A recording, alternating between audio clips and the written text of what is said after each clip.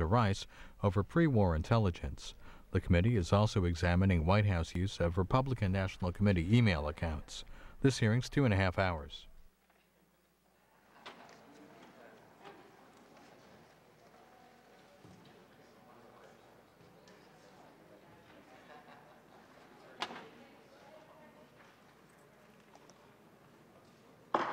Meeting of the committee will please come to order.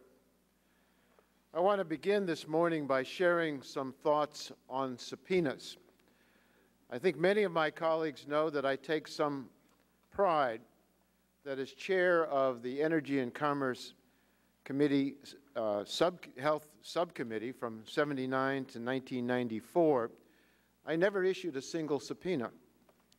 That doesn't mean that we didn't conduct investigations. We did including important inquiries into the Bush and Reagan administrations and the tobacco industry. But we were never forced to issue a single subpoena to get the information we needed. That's important to me because I believe subpoenas are one of the most powerful tools of government.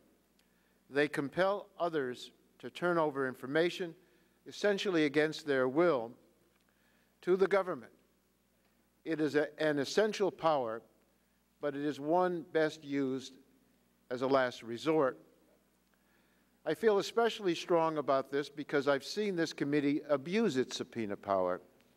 From 1997 to 2002, Chairman Dan Burton issued 1,052 subpoenas to the Clinton administration and Democratic targets. None of these subpoenas were debated or voted on in this committee, all were issued unilaterally by the chairman. Some were ridiculously overbroad, others were issued to victims of mistaken identity, and over 2 million pages of documents were given to the committee in response to these subpoenas. In 1997, Chairman Burton organized the committee on February 12th. By today's date, in 1997, April 25, Chairman Burton had already unilaterally issued 104 subpoenas, including six to the Clinton White House. That's 104 subpoenas in 72 days.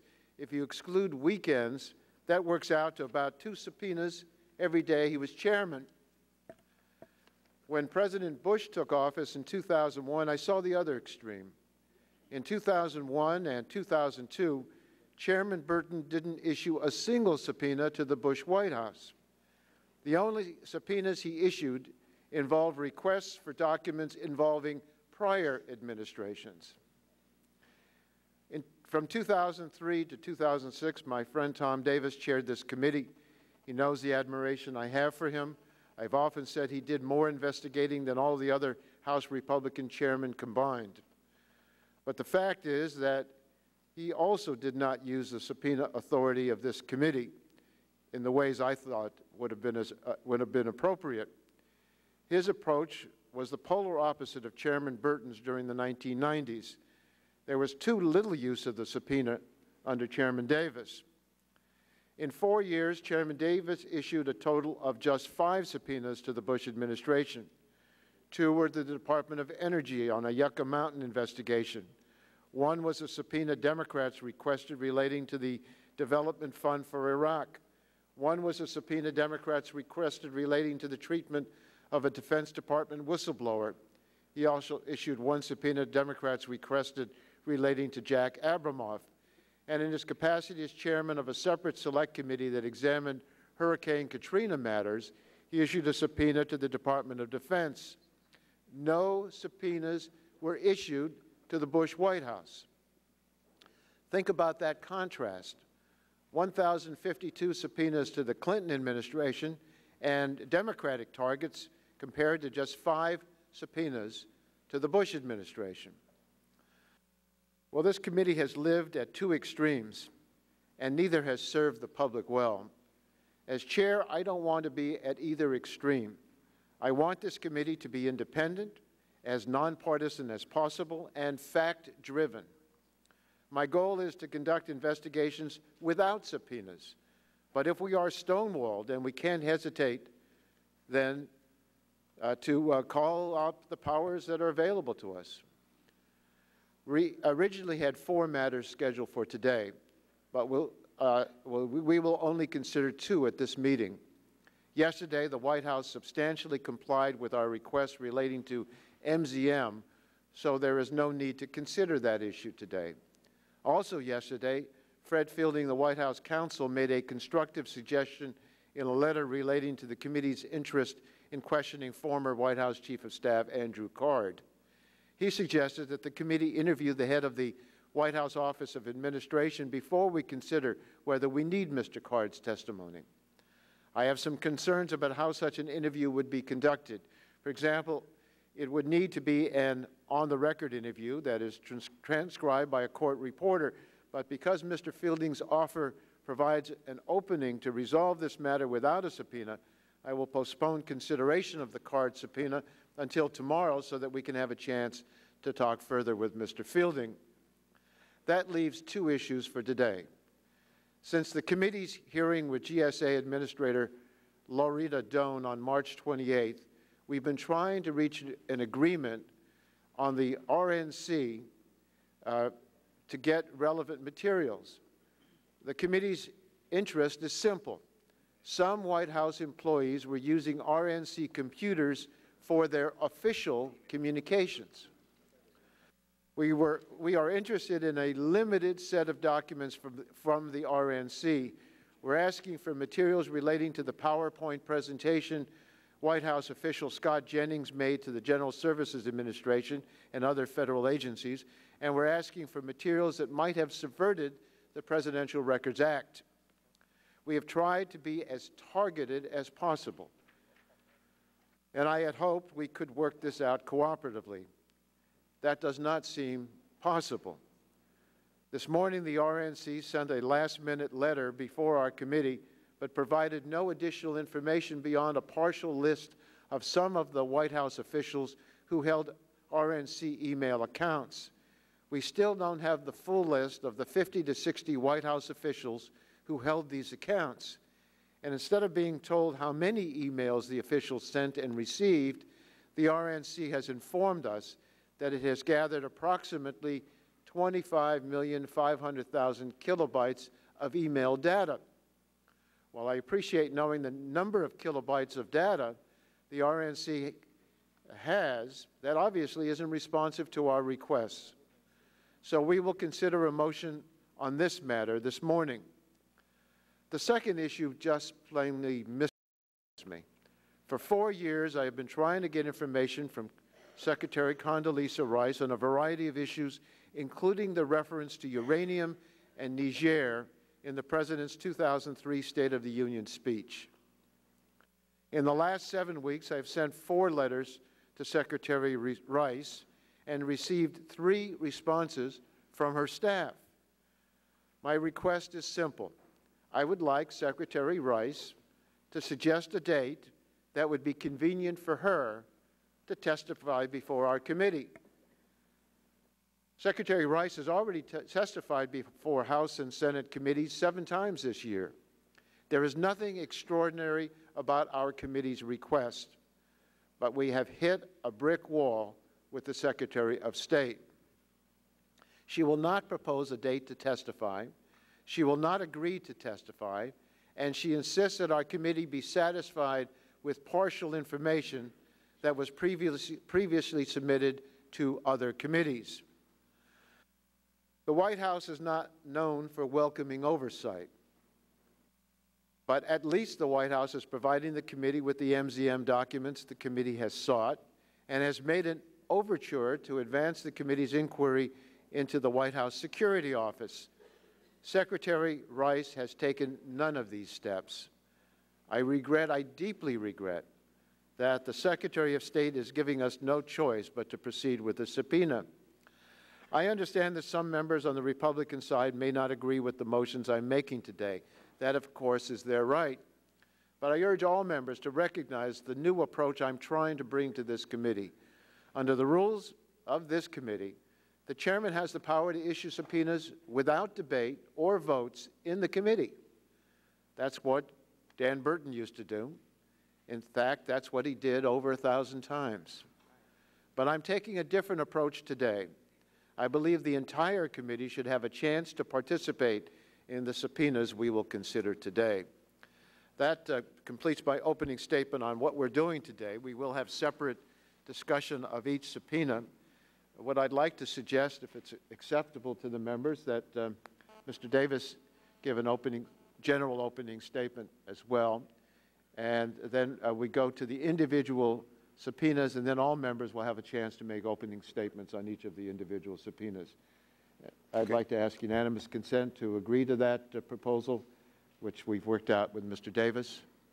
Uh, Without objection, that'll be the order, and the ranking member is recognized. Um, Thank you, Mr. Chairman. You know I have great respect for you, high regard for the good work you've done, uh, that we've done together over the years. So I'm disappointed uh, we're here today to talk about subpoenas that are ill-advised, unnecessary, or premature. For the most part, I agree that the committee has the right to get the information that you're seeking. But with that right comes the obligation to obtain what we need in the most efficient, least obtrusive way possible. And I think what we're doing today is not the right way. As chairman, I made it a point to consult with the minority and keep you fully informed. Whether the subject was Sandy Berger, Jack Abramoff, we tried to stick to the substantive issues and follow a deliberate, fair process in getting to the facts. We didn't pull any punches in asking the tough questions, issuing subpoenas, or making the hard-hitting findings in the Hurricane Katrina investigation. The administration wasn't always happy about it. Sometimes Democrats didn't like what we did. But we kept the strike zone steady and tried to call them as we saw them. I don't think you dispute that. Now that we're in the minority, I've agreed with many of your document requests Uh, over the past few weeks and, and subpoenas. Earlier this week, I concurred in subpoenas for two witnesses in the Tillman investigation. But the subpoenas before us today strike me as overreaching, substituting quantity for quality by bundling a number of old issues and grievances in an effort to get high-profile administration figures under oath before the cameras for the sake of political theatrics. And I can't support that. The proposed subpoena to Secretary of State Condoleezza Rice is, for where I'm sitting, way outside of the strike zone, way over the line. As good as we are, we're not the only competent or cognizant tribunal around. Given the number of House and Senate committees with far more direct jurisdictional claims on her time than ours, this precedent would make testifying up here her full-time job, to the detriment of our national security and stature. And the questions allegedly driving this effort to compel the nation's top diplomat to spend days of her valuable time preparing and testifying have either been asked and answered in other forms or can be answered just as completely by someone else. On the matter of Iraq and uranium from Niger, the Senate Select Committee on Intelligence, the Robb Silberman Commission, and the British House of Commons inquiry all concluded the statements in the President's State of the Union address reflected the broadly supported state of knowledge at the time. Secretary Rice answered most of the key questions in this subpoena during her Senate confirmation testimony. And as we have right over here, we have asked and answered questions this committee would like to ask that she answered under oath before the Senate committee. The Department of State has bent over backwards providing responses and documents to the Chairman's numerous requests, some of which were made uh, when he was still the ranking member. I might add the reports that have come from three independent tribunals, including the Senate Intelligence Committee, the Robb Silberman report, and the House of Commons. These, this, these are the reports, three previous reports on this issue. And to quote one of my favorite Democrats, Henry, you, back you talked about uh, earlier on, you talked about uh, uh, oversight.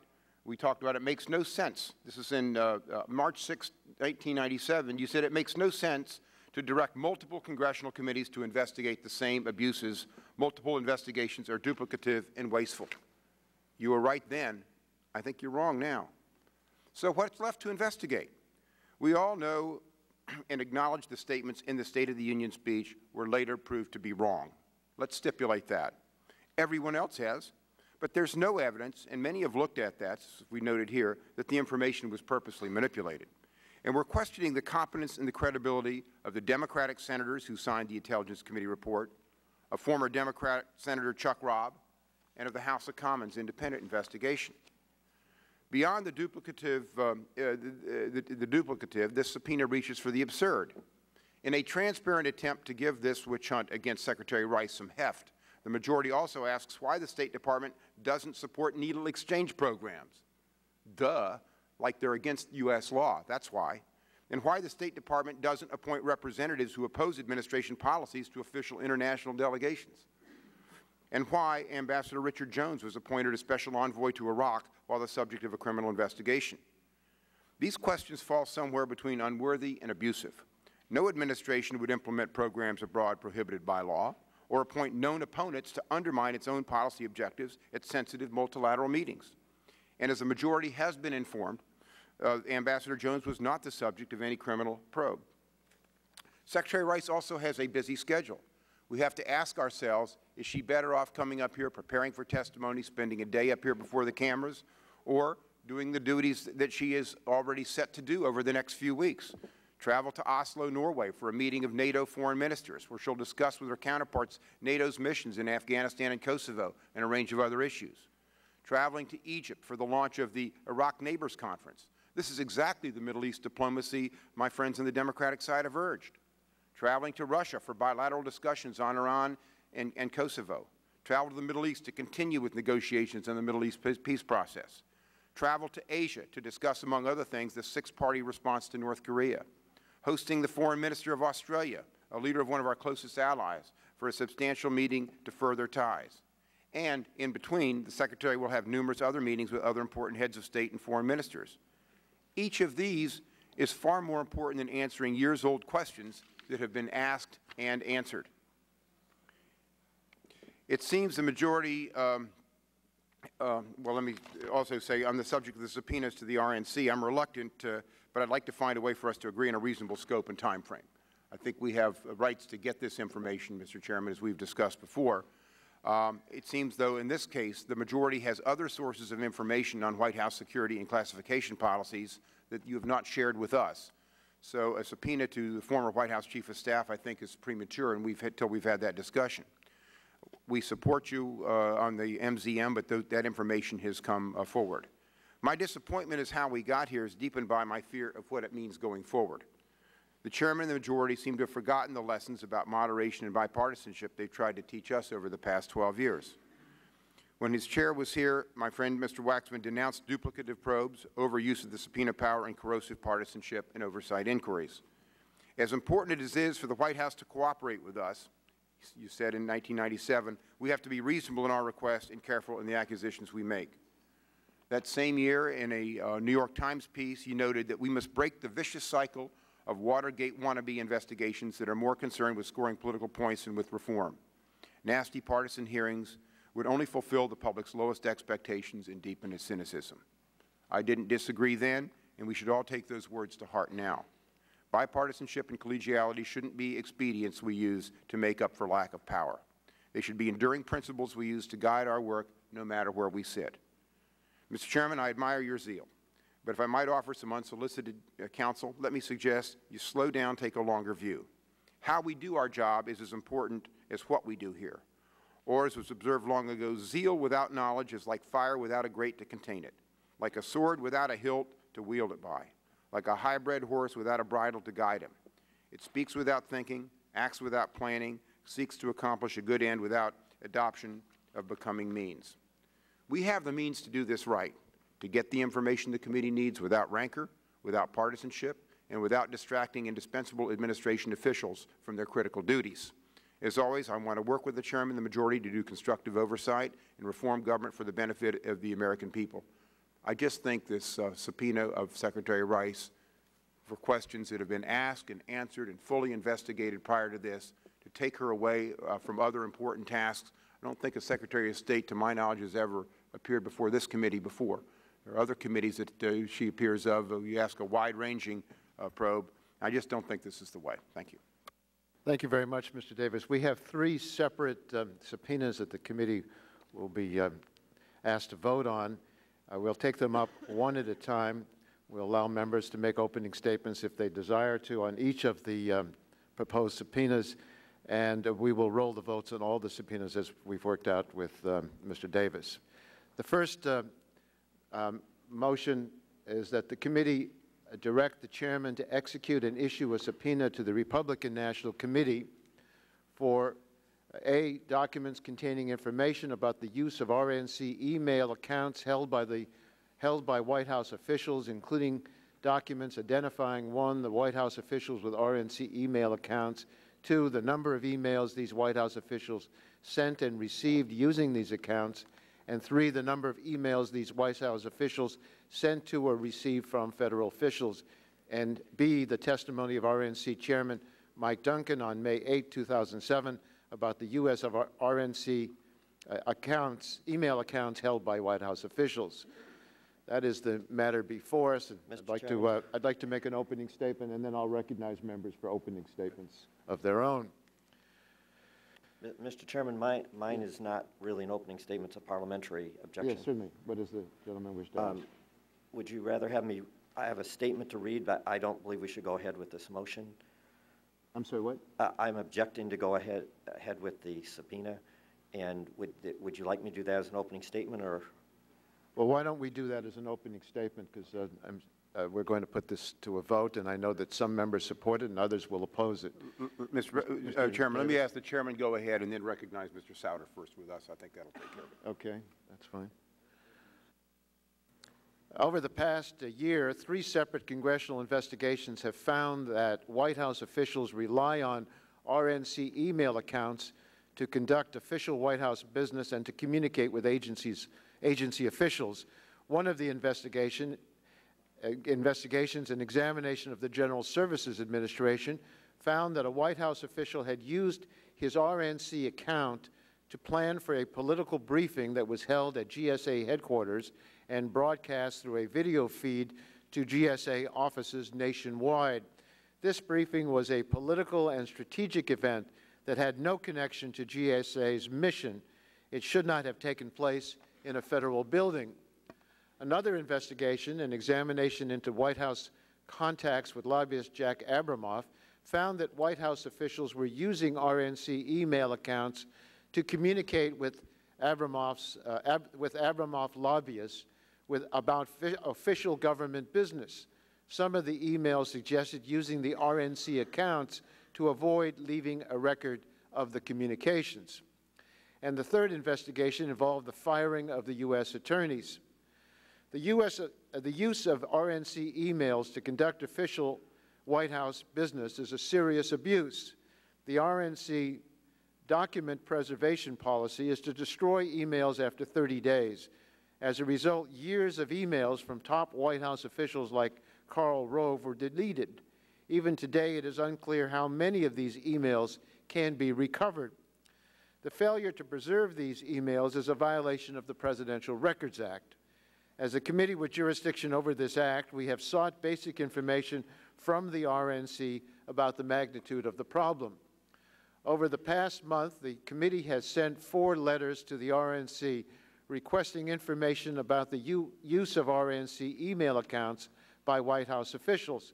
We have asked repeatedly for the most basic information, such as the names of the officials who have RNC email accounts, how many emails they sent and received, and how many emails were sent to federal agencies through RNC accounts. But the RNC has not been responsive. We have been slow walked and stonewalled, and that is not acceptable. The RNC sent a letter this morning that provides no additional information except a list of 37 White House officials who used RNC email accounts, and even this information appears incomplete, as the RNC had informed us there were appro- approximately 50 White House account holders.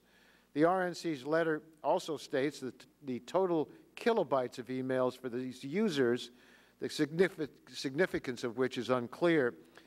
And this information does not answer basic question of how many emails were sent by each White House account user. As a result, I'm asking the committee to approve this subpoena. It asks the RNC to provide answers to basic questions about the use of RNC email accounts by White House officials, such as a list of which officials uses um, these accounts and how many emails they sent and received. The deadline is two weeks. It also asked the head of the RNC, Mike Duncan, to appear before the committee in two weeks to testify about these matters. Depending on the kind of response the committee receives from the RNC in the interim, I will consult with the members about whether the committee will need to proceed with this hearing. This is a narrow subpoena that seeks the most basic information from the RNC, and I ask for its approval. I'd like to now uh, call on... Mr. Chairman, can I just interrupt? We have not Yes. seen a copy of the subpoena. That would be helpful if we could uh, see the copy of the proposed subpoena, so we know what we're talking about. It's been said it's narrowly tailored.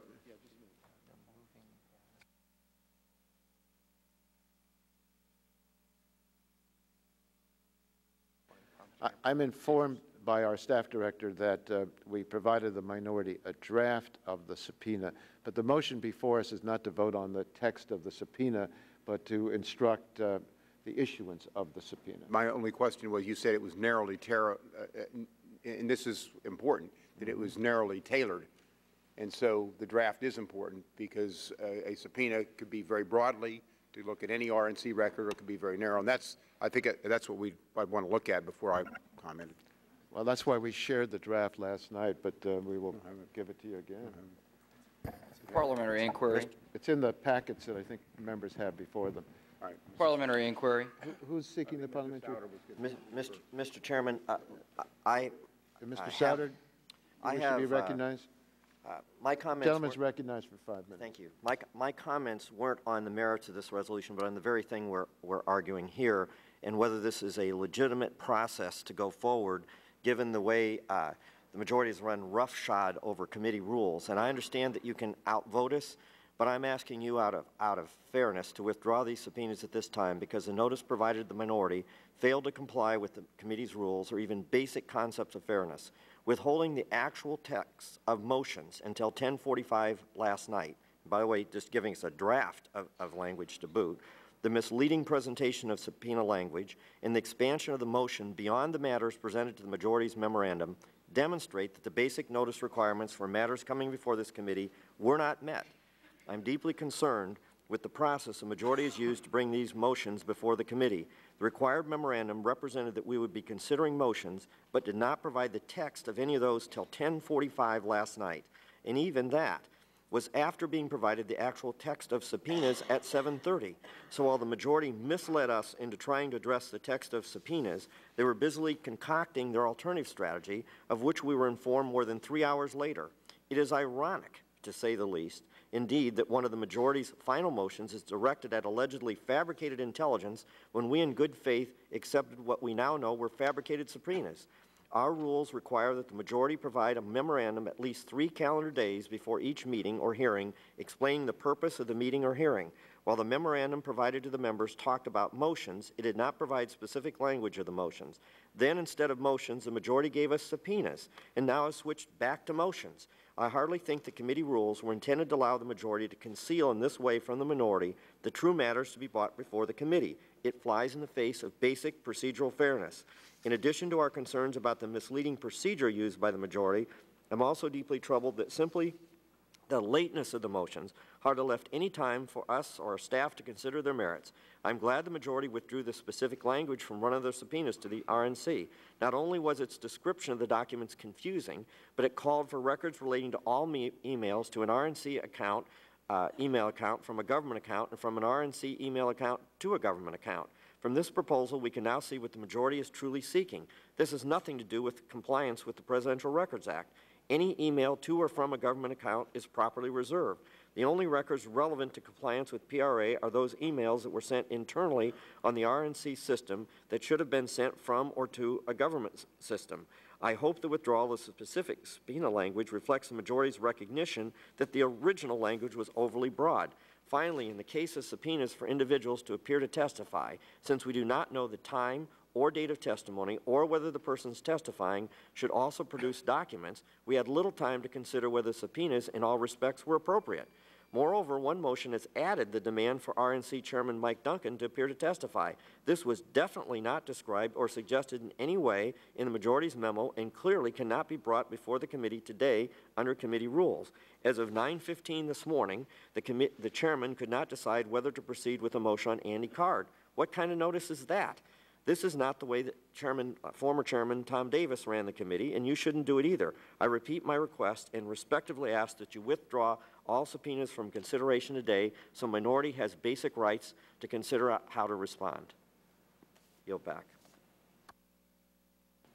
Well, if the chair might respond to the gentleman, uh, we have been very careful to comply with the rules. We have given three days' notice for this meeting and uh, informed all members what the subject matter was of the, uh, of the meeting today, what would be before us.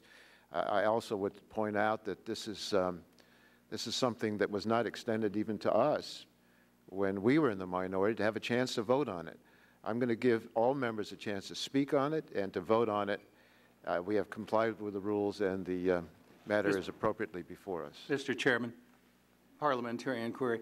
I have a, uh, a motion to amend your motion, and I would like to present it at the appropriate time. Uh, I can either use my five minutes or whatever the chair would, uh, uh, would deem appropriate, but I do have a motion to amend the pending motion that you have just uh, decided to go forward with.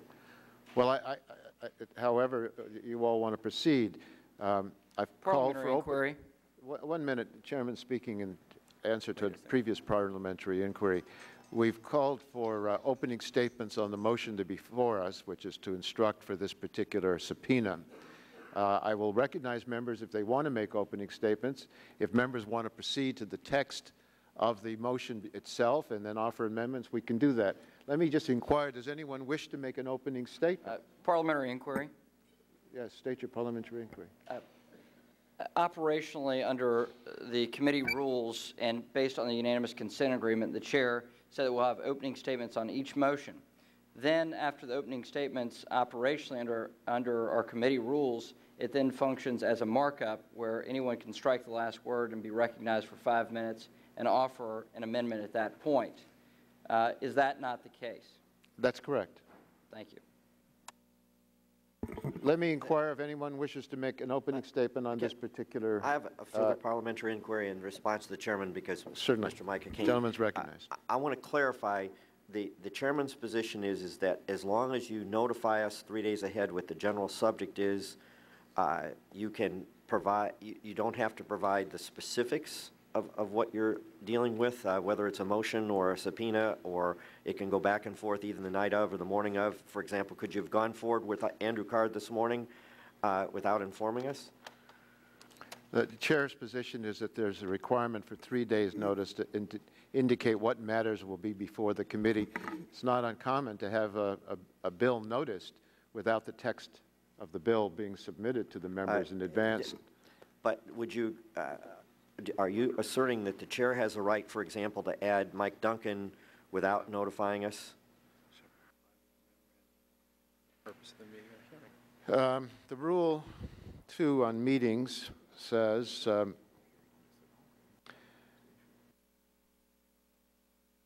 "Every member of the committee or the appropriate subcommittee, unless prevented by unusual circumstances, shall be provided with a memorandum at least three da- calendar days before each meeting or hearing explaining, one, the purpose of the meeting or hearing, and two, the names, titles, background, and reasons for appearance of any witness. The ranking minority member shall be responsible for providing the same information on witnesses whom the minority may request." Chair believes he's complied Chairman, with the uh, rules. Just a, a quick uh, further clarification, if I may, and I am trying to speed the process up. Mr. Chairman, um, if, uh, I, I believe I have the only motion on our side to amend on your particular motion, and if Mr. Davis would let me go first, I could offer that motion within my five minutes, uh, rather than at the end. Then if people wanted to comment uh, on it, rather than duplicating the debate, so to speak, I could offer that motion, and I, I may ask for a recorded vote in compliance with the agreement that we have to have those votes all ganged, I guess, or delayed to the end. I am truly trying to speed up the process with this suggestion. I I appreciate the, the- the, the gentleman's request, and let me put it to the members of the committee. Uh, I would like to ask unanimous consent that members, that the proposal before us be open for amendment at any point. Members will still have the right to strike the last word if they wish to um, engage in a debate and use five minutes of time uh, to do that. And if we proceed in that way, we can go immediately um, to amendments. Is there any objection to that request? If not, uh, that will be the order, and the gentleman from Florida uh, wishes to offer, to be recognized to offer an amendment to the Well, thank proposal that's Thank you, before us. Thank Mr. Chairman, and I truly did. uh, Is the amendment at the desk? uh, Could we distribute the amendment? It is at the desk. Um, Well, the desk- desk doesn't think so. There it is. Sorry. It's there, and could we distribute the amendment? Yeah, let's have the, let's have the amendment read. Mr. Chairman, Mr. Chairman, Yes, Mr. I Townsend. reserve a point of order. A point of order is reserved on the, on the amendment. Thank you. If I may proceed, I can... No, not until the clerk uh, presents the Oh, amendment okay. to us. Amendment to motion, Ray Berger and Presidential Record Act by Mr. Mica. I move that the committee direct the chairman to amend the motion to include a subpoena to Samuel R. Berger seeking testimony related to how the previous administration handled its responsibilities under the Presidential Record Act. The committee shall also obtain testimony from Mr. Berger regarding his role as the designee to the 9/11 Commission for former President Clinton. As has been, as has been well chronicled by this committee during three separate visits to the National Archive, Mr. Berger removed and destroyed highly classified documents. Among other criminal violations, Mr. Berger's action led to the destruction of records retained pursuant to the Presidential Record Act. The amendment is before us. Gentleman from New York? uh, You know, um, my good friend from Florida, who I have great admiration and respect for, I must say, um, Mr. Chairman, this is actually expanding the scope, and it's a different situation. So I don't see how uh, we could even include it at this time because it's just not germane. As much as I'd like to be supportive of my friend, you know, from uh, the state of Florida, uh, uh, this is this is not germane, Mr. Chairman. I mean, I'm trying to look at the widest uh, uh, possible stretch, but I still can't get there. This is all together a different topic. Uh, Gentleman insists on his point of order. Hey, may I... The uh, gentleman from Florida is recognized. respond? Uh, Well, thank you, Mr. Chairman. And I did offer this uh, motion because I think that, uh, well, first of all, if we recall, Mr. Chairman, back to uh, some of the questions that were raised during the uh, the GSA hearing, uh, and we did learn of um, of some of the activities uh, that uh, were conducted at that time, and I think I agreed with you that we should look further. So I have no problem with looking at uh, uh, deleted emails or looking at uh, uh, information, and even going so far as dealing with some of the presidential records. But I think in all fairness, if we're going to talk about deletion of records and Presidential Records Act, we, we do need to look at the, the Sandy Berger issue where he deleted, uh, in fact, uh, uh, had, had been convicted of um, stealing, mishandling, and destroying highly classified documents from the National Archives. So I think that in the past administration, we have an, an egregious example of uh, deletion and similar mishandling uh, that we should look into. Now, this isn't something I'm just raising today and just for you, Mr. Chairman, or since you've uh, assumed the majority. Uh, I'd like to submit for the record a letter October 11th, and it's signed by many leading members of this com- committee who asked, for- uh, and I helped uh, lead this event, or this, uh, this particular request, to the, uh, the Committee on Government Reform to ask that we look into the deletion of uh, records uh, by Sandy Berger. This is dated October 11th, so I'd submit this as part of my request uh, to amend your, your motion.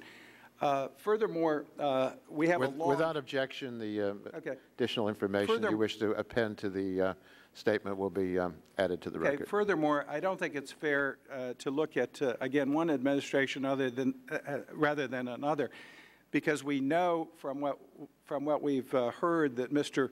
Berger seems to have been afforded some special treatment. We've also found, and uh, our committee staff has found, uh, both majority and minority have found, that Mr. Berger uh, left stolen, highly classified documents at a construction site and went to extraordinary measures to, see, to uh, sneak them out of the ar- ar- archives. In fact, um, we're talking about documents uh, here that deal with national security as opposed to political uh, activity in the, in the White House. So I think that the, the cause for us to, to be fair and look at how uh, public documents and presidential records are handled, particularly these that, that uh, are at the very highest level of our national security. Now, furthermore, uh, a review of the documents did, uh, did not conform to the usual requirements for re reviewing classified documents in a secure facility under strict supervision. This is quite different than, uh, again, what we had uh, with, the, with what's in the, in the request, but I think it goes to the heart of a, an even more fundamental matter about destroying documents, about deleting information that we should have access to. And unfortunately, had the Justice Department properly notified the 9-11 Commission, we're not talking about uh, a political contest in 2008. We're talking about the designated individual by President Clinton and the Clinton, Clinton administration to provide information to the 9-11 Commission. Uh, uh, basically, what we've, we've seen is deletion of information that tries to cleanse history, involvement, and, and uh, deals also with, again, the most highly classified national security issues. So I think in, a, uh, in, in uh, fairness, I think we should exp expand this uh, motion, ask Mr. Uh, Berger to come in. Uh, we, we, di we, did not know, in fact, at the time that I think we were told, and, and, the Department of Justice was told that there were only copies we now find out that he stuffed uh, into various uh, clothing, I don't know if it was socks or where, we, and that's something we should find out, highly classified original documents, and then uh, they were destroyed. And the only way we uh, can really know what took place, again, dealing with presidential records, uh, so I think we, have, we clearly uh, are, are, dealing here with similar re requests uh, dealing with highly classified documents as opposed to political documents. Maybe, maybe you don't want to uh, differentiate uh, on that basis, but I think that uh, I'm well within, uh, within uh, the parameters of what could be requested to expand your, your motion, and I think that would be fair. And I'll also request a vote on this at the appropriate time. Mr. Chairman. Mr. Davis, let me say that the matter that's before us right now is uh, the point of order. Uh, gentleman went on about the merits, and I thought that was appropriate to allow him to discuss the merits of it, but the debate has to be, we have to resolve the point of order first. Let me address the point of order, because we're really, uh, this is kind of new ground for this committee. Uh, in, in, theory, we don't have to have a markup at all on a subpoena. The chairman has the authority on his own uh, to issue a subpoena. Uh, our, our, rules say that he consults with, with me, uh, but he has the authority on his pen. So bringing this before the committee, I think, raises a precedent in terms of how the committee operates. Once you bring it before us, what are the different rights? In the notice for the hearing, uh, the notice, uh, the, the, the, larger heading talks about um, relating to RNC emails, but it also talks about violations of the Presidential Records Act uh, and the Hatch Act by White House officials. And clearly the Presidential Records Act, um, it, as you take a look at it and the archives, the report from the IG of the archives, uh, the criminal charge Mr. Berger pled guilty, and the unanswered questions that have been raised, as a report from the minority of this committee that we've reported out, raises a host of issues that I hope the committee would address, and I would hope that you'd uh, find it reasonable to find it in order. But uh, this is probably a case of first impression for the committee in terms of how we would handle a markup of a subpoena, but I want to just add that historic context. Mr. Chairman? Thank you, Mr. Davis. Further discussion on the point of order itself? Yes. On the, on the point of order, my understanding of our, our earlier exchange when asked the question about Mr. Duncan being added and it uh, relating to the Government Records Act, you said uh, you could in fact do that this morning. When I asked about Mr. Card being added, you in fact said the committee could do it today. So it seems like, given that the underlying subject matter, Presidential Records Act, uh, national security matters, uh, how decisions are made is directly relevant and would be inconsistent to move ahead with other subpoenas that were added at the last minute without minority notice and yet block one that the minority requests. Thank you. Any, anyone else wishes to be Mr. heard on Mr. the Chairman. point of order itself? On the point of order. Gentleman from North Carolina. Uh, I thank the chairman uh, for the opportunity to speak on whether or not our amendment is germane to the motion. Um, I would tell you that because there are two separate uh, issues within this subpoena, uh, that it's not simply related to emails, uh, but you're seeking testimony related to the uh, Presidential Records Act, that the amendment offered today by Mr. Mica is in fact germane because it pertains to the larger question of the Presidential Records Act. If the chair rules that this is not germane, the chair is then ruling that it is not under the Presidential Records Act, that in fact it is only seeking RNC emails. Thus, the chair is just playing a political game, trying to get Republican emails now that the Democrats have the majority. Uh, furthermore, uh, Furthermore, uh, I would also uh, tell the chair that um, as a, a- as a member of the minority, I would ask, uh, I would appeal the ruling of the chair if he in fact rules that this is not germane, uh, because I believe that it is in keeping with House rules uh, and the rules of the committee. Uh, The, the motion that Mr. Mica made is in fact germane to the larger issue of the Presidential Records Act. If I do call for an appealing of the ruling of the chair under the House rules and under the rules of this committee, uh, we will then have to proceed to an immediate vote. Uh, So I think that, I would uh, certainly appreciate if the chair considered the- those matters. Anyone else wish to be heard on the point of order? Uh, Then the chair is prepared to rule. The uh, scope of the proposal before us is a motion to issue a subpoena to the RNC for testimony and documents. The um, scope of the matter before us relates to the RNC. The amendment that's been proposed relates to Sandy Berger. It is not within the scope of the proposal that's before us. Uh, I understand that there may be an appeal of the decision of the chair. The chair is ruling as he thinks is the appropriate one and the right one under the rules. And uh, I would also point out to the gentleman who suggested he's going to appeal my decision that he might take a look at the 600,000 pages of DNC emails and documents that were obtained by this committee without a chance for anybody to vote on them. Uh, I want to give members a chance to vote on this specific subpoena, and in considering this specific subpoena, the only um, matter that would be germane would be matters related to the Republican National Committee. So the uh, point of order from the gentleman uh, from New York is uh, well taken. Mr. Chairman, uh, I will uh, appeal the decision of the chair and ask again that we defer that vote. Uh, uh, We won't get a vote probably on my motion, but we can get a vote on that as uh, you take up uh, your uh, votes on the uh, Okay. subpoena request, if that's appropriate. The- Then the motion before us is to appeal the decision of the chair, and that vote will be taken at the uh, conclusion Chairman, of the uh, Mr. Chairman. discussions of other amendments. Mr. Chairman, Um, uh, point of Mr. order. Mr. Issa, Point of order. I have an amendment at the desk, but obviously I'll yield to Mr. the point of Mr. order. Chairman, a point of order. a point of order. Uh, Under House rules, a a question of germaneness uh, to the amendment is lodged against, uh, was lodged by the majority against Mr. Mica's proposal. Uh, It is the first operational motion. It must be dispensed with before we can proceed with any other business under House rules. Uh, And and the unanimous consent agreement uh, that the chair announced uh, is not operational, so we would have to move into an immediate vote under House rules and the rules of the committee. Operate by unanimous consent, we can. Well, I thought we had uh, unanimous consent because the gentleman who asked the appeal of the decision of the chair asked to appeal the decision of the chair and to hold the vote.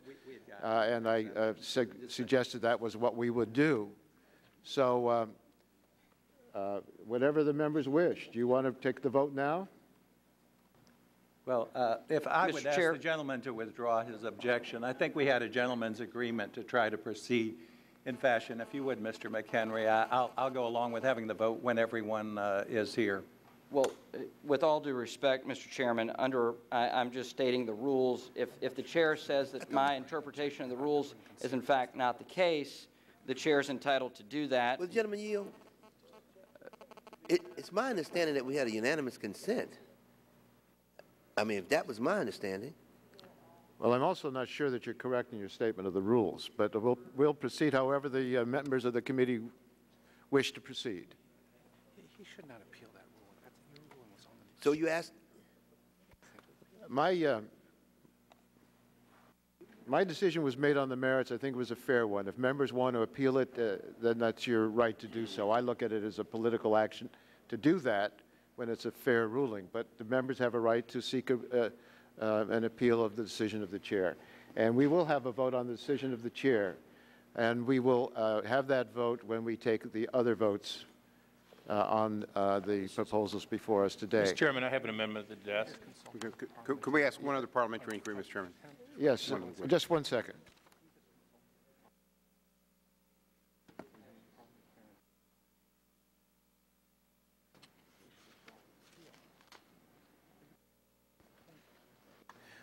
Uh, Let let me, before I uh, recognize Mr. Davis, my uh, uh, staff director has indicated, Mr. McHenry, I want you to be particularly aware of this, that we just consulted with the parliamentarian of the House, and we shared with him the the MICA proposal.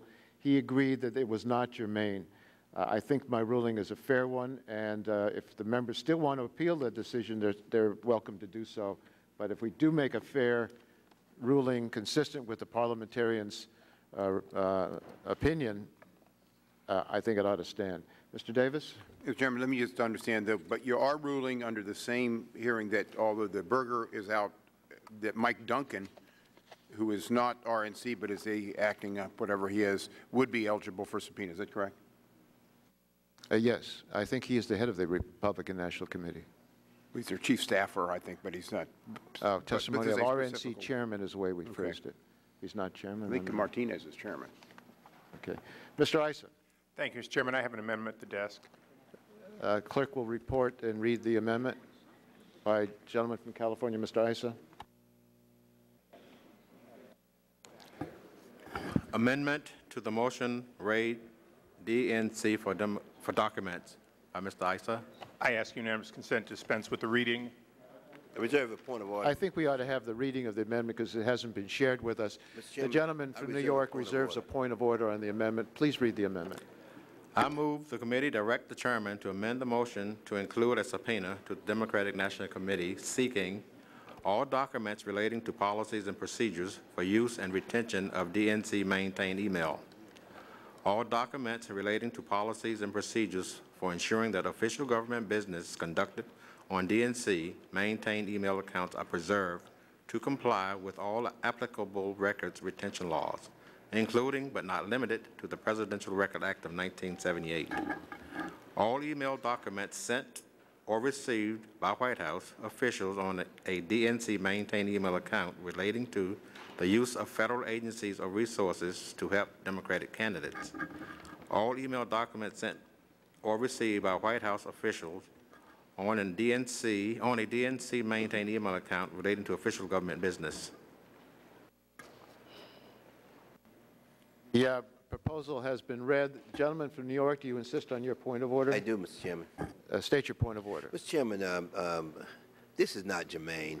I mean, uh, uh, here again, you know, uh, and I really want to say to you that um, I really, I really appreciate, you know, your fairness here, Mr. Chairman, and that you're involving us, you know, uh, in this process in terms of. Uh, uh, but the point is that knowing that uh, you did not have to do that, and I respect that. But the point is that, Mr. Chairman, uh, um, this is not germane, and uh, and I think that um, the gentleman from California probably knows it's not germane, but uh, uh, he wants to make a political point, and of course, um, that's what I think he's trying to do. And it's unfortunate because I think we have some serious matters here that we need to try to get on with, and that I'm hoping that he will understand it and will probably withdraw it and let us move forward.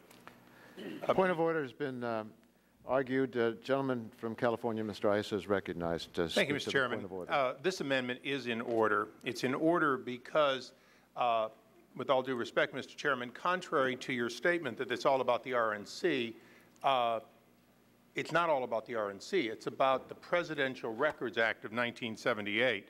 And in fact, the Presidential Records Act, which is the compelling question here, it is not a question of whether the RNC did something. It's a question of whether the office of the president did something uh, in transferring records during a period of time.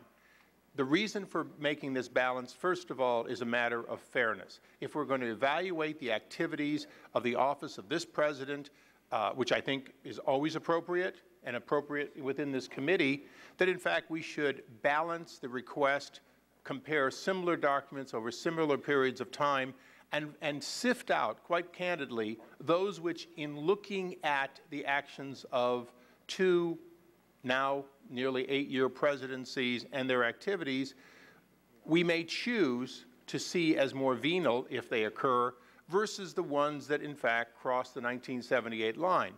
So I would argue, and I believe successfully, and I believe with the support of the parliamentarian, since you used them in the last time, I strongly suggest you use them this time, that in fact your subpoena is under the 1978 Presidential Records Act. The 1978 Pre uh, Presidential Records Act clearly would have authority over one president, the same as the other, all the way back to 1978, and that expanding the question of whether or not transfers were made, correspondence occurred, whether in writing or through electronic media, is equally important regardless of a particular time or date, uh, or a date in time, if you will, that may have occurred. So that's the reason that, that I'm expanding this. I'm not expanding it on a partisan basis, just the opposite with all uh, suggestions uh, to help you do your job and us do our job better, it would be very clear that if we're asking the same questions of the two entities, we're causing the two entities to spend the same amount of money to answer and produce those records. Uh, by the way, I'll mention with hard money uh, under the, the uh, Bipartisan Campaign Reform Act, that in fact we would be creating the same burden, holding each of the two presidents, each of the two parties in light of reviewing the 1978 Presidential Records Act to the same standard.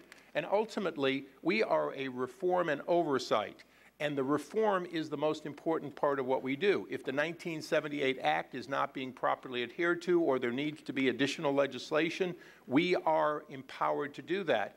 But to do it, we can't go on a witch hunt of Karl Rove or Andy Card. We have to, in fact, look at the activities and the practices and Mr. Chairman, particularly, Mr. Chairman, particularly I believe that as electronic mail, which did not exist in 1978 at the time of this act, becomes appropriate to look at, that the last two presidencies, the last 14 years, is, is absolutely when email became the major thing that we want to look at.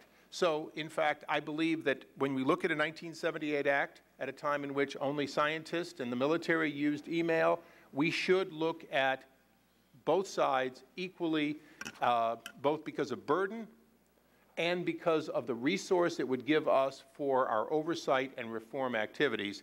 And so, Mr. Chairman, I strongly suggest that you view your uh, subpoena in light of the 1978 Presidential Records Act. I yield back. Further discussion on the point of Uh, order. Mr. Chairman. Mr. Chair. Mr. Davis. Let me start by saying I think the basic information that you want to get from the RNC, you ought to be entitled to get. Um, I, I sat here through the Lurita Doan hearings. I, the, the issues were raised. Uh, and I think the, the, what we're trying to get at is something that both parties want to get at. My concern about the breadth of this subpoena is that, that it is entirely too broad, that it becomes a fishing expedition where you basically have a Democratic majority that has not shared all of the information that they have gotten with us going through RNC emails, and that it ought to be more narrowly uh, tailored. Often points of order are sustained on jurisdictional grounds in this committee where someone will offer a motion and it's not within the jurisdiction of this committee to act. In this particular case, this committee has the jurisdiction to act uh, on Mr. Issa's motion, and if it's ruled out of order because of the you're, you're narrowly tailoring the notice for this meeting, uh, then I will ask unanimous consent in the uh, just for, for comity between us that it be allowed. I think it's important for us to take a look at these precedents of having individual computers uh, by White House personnel, that this didn't originate with the Bush administration, that this, in fact, came forward because they were trying to not use government computers for political operations, and political operations have been a part of White Houses going back 50 years. It's not a Republican or Democratic issue, but that, and frankly, what's sauce for the goose is sauce for the gander and that we ought to take a look at this in its entirety. Uh, once again, I think what the uh, basics of what you're trying to get at here uh, from the RNC is information that Congress ought to have in moving forward and trying to get a better handle and understanding of how separate computers being used to evade presidential records, uh, if that's indeed what was happening, uh, we, that we ought to have knowledge of that. But I think what's sauce for the goose is sauce for the gander, and I want to put the committee on uh, record that if this is, uh, if the uh, point of order is not su- uh, sustained and, or, or is sustained, they'll make a unanimous uh, uh, consent request at this point um, and ask everyone to join in and, and make sure that this is indeed a bipartisan investigation uh, to circumvent the Presidential Re- Records Act, which should be the concern of all Americans, Republicans and Democrats. Thank you, Mr. Chairman. Davis. Ms. McCollum? Thank you, Mr. Chairman. Mr. Chairman, um, I, I, I do believe that uh, the motion uh, before us is, is uh, not germane. The RNC refused to provide basic information to this committee. The RNC refused to provide information that this committee requested. Therefore, the subpoena is going, uh, uh, is, is, there's a, we're moving forward with the subpoena today.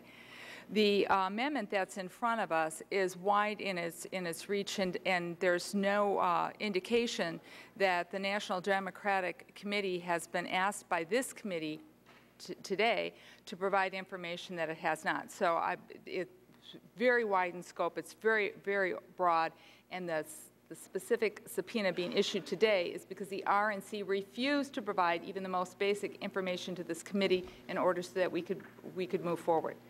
The other reason why I don't find uh, uh, this, this uh, uh, germane is because the White House um, correspondence doesn't allude to email, doesn't allude to telephone calls or whatever. There's White, Horse, White House correspondence that we are seeking because the RNC has failed to provide any of the requested documents to this committee to see if in fact they have been destroyed and if it's a correspondence that's between a White House official, the White House official is directed to keep that correspondence available for review. And the RNC has a policy of destroying um, their documentation after 30 days. You're very narrow in your focus in the subpoena. Uh, The motion before us is very broad, and it has nothing to do with the fact that the RNC refused to provide the most basic information. Therefore, I believe uh, that this uh, motion before us is not germane. Further debate on the point of order. Mr. Chairman, Mr. McKinnon. Mr. Chairman, uh, speaking to the question of germaneness and the point of order lodged against uh, consideration of, of uh, my colleague from Florida's amendment, the question before this committee is, is the Republican National Committee of jurisdiction of this committee? Well, actually, the operational uh, law that we're focused on here today deals with presidential records. That is the issue upon which this uh, motion by the chairman for subpoenas uh, relates. And so uh, my colleagues, uh, Mr. Issa's uh, amendment to this motion is germane because it simply uh, redefines the email section. It redefines uh, White House. It, it actually rede- doesn't redefine White House officials. It just redefines the email section, and it is operational and it is germane based on those reasons and based on the law upon which this motion is offered by the chairman. Uh, furthermore, uh, if the chair rules that this is not germane, uh, he is simply saying that nothing could be germane to his motion other than the Republican National Committee. And if that is the case, this is obviously a political witch hunt. That is obviously uh, a political witch hunt if the chair rules that this is not germane. And so I'd urge the chair to uh, look at the text uh, of his motion and uh, Chairman Issa's motion and appreciate the arguments being made on both sides on why this is uh, truly operational based on the 1978 Presidential Records Act. Will the gentleman yield? I would be happy to. Uh, Mr. Chairman, I just want to put in a, a previous, um, a, a- a member in a previous comment said that the RNC had failed to comply with any of the document requests. That is not factual. They have not gone as far as I think the chairman would like. Uh, I would like, to ask unanimous consent to put a letter from the law firm of Covington and Burling in the record today detailing their efforts to try to comply with the requests of the chairman. Without objection, that'll be included in the record. Fr- uh, Yes. Ms. Norton. Mr. Chairman, I, uh, I, I, I was, I was out of the room when, when, when, um, your, your, uh, uh, your, uh, motion, new motion was made. Um, I, I do want to say how, when, when I first understood that we were subpoenaing a political party, any political party, I had my, my own misgivings until, um, I received the assurances that you have given this, this committee about the narrowness of, of, of the subpoena. Moreover, the, the amendment regarding the DNC documents, I find quite amazing. Because if my concern was that one has to stop and consider before subpoenaing any political party, the first thing one has to ask is what is the predicate? The, the predicate was laid here in hearings where there was evidence, very specific evidence of the kind that this committee had jurisdiction over because of its jurisdiction over GSA. It suggests, that evidence suggests that, particularly considering that the White House was involved, that the White House and those involved probably didn't stop with one agency and that there are Hatch Act and perhaps other violations and, yes, violations uh, containing, uh, perhaps relating to security. But what predicate has been laid for a, a all-out investigation of the DNC? If in fact we were to say, let's investigate both political parties as a general matter to see if political parties, both of them now, are complying with security regulations, Hatch Act regulations, and the rest, with no predicate laid that there may indeed have been a violation, I hope every Democrat and Republican on this committee would have his hand up and say, uh, no. Um, um, the, the fact is that we had a witness before us who could recall nothing. We relied upon evidence in black and white. Um, this subpoena relates very, and comes very specifically out of that hearing, which showed, it seems to me, without beyond reasonable doubt, were that to apply, that there had been a, a Hatch Act violation. Uh, the, it seems to me there's an obligation on the part of this committee to see if what we had here were systematic violations by the RNC using the same kinds of approaches they used uh, with the GSA. Uh, uh, we Will my have no yield? such evidence with respect to the DNC, and I yield back the balance of my time. Thank you. Further debate on the point of order. Mr. Shays. Uh, Let me just yield to my chairman. Gentlemen, you- Mayor Ranking Member. Can, I just want to put this in perspective. I understand we're, we're talking about a point of order on the RNC and the DNC, but one of the things that troubles me is, as I said before, I think the documents the chairman wants to get on this, we would be supportive of. The difficulty is, and we just received this at 10:45 last night, is that in the draft, uh, so subpoena, they asked for the total, uh, under um, paragraph 2C and D, they asked for the total number of electronic communications from an individual's RNC email account to an official government email account, and the number sent from, from an individual's assigned RNC email account from an official government email account. If it's sent to or from a government's email uh, account, it is preserved right now under the Presidential Records Act and therefore is not the business of this committee, at least operating under the auspices of the Presidential Records Act, to get those kind of communications, unless it's a fishing expedition or there is some partisan exercise. There are other documents that I think should be within the purview of this committee, and we should understand uh, that may have been violations of the Hatch Act or the like. But in this particular case, I don't think it's right to subpoena a political party for records that are already preserved under the Act. And that is our concern, is the breadth of this, not whether they ought to be able to get certain documents that we all have an interest, I think, in preserving. And so I hope that, it, again, for partisan committee, will allow this to be in order, and if not, I'll ask unanimous consent that we can at least make this uh, bipartisan. Mr. Chairman, with, with my time, I, I feel like we're straining out gnats and swallowing camels. I feel like this committee is, while Rome burns, we're eating grapes. There are so many huge issues that we should be debating that my Democratic colleagues are right in saying we should debate.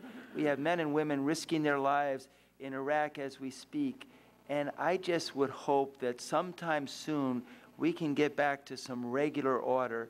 I just am very uncomfortable in general with the outreach that we have, the subpoenas that we have, going after the Secretary of State for something that occurred before the war even began. And I'm, so I'm, I just hope that sometime you're going to get back on track, but we're getting off track.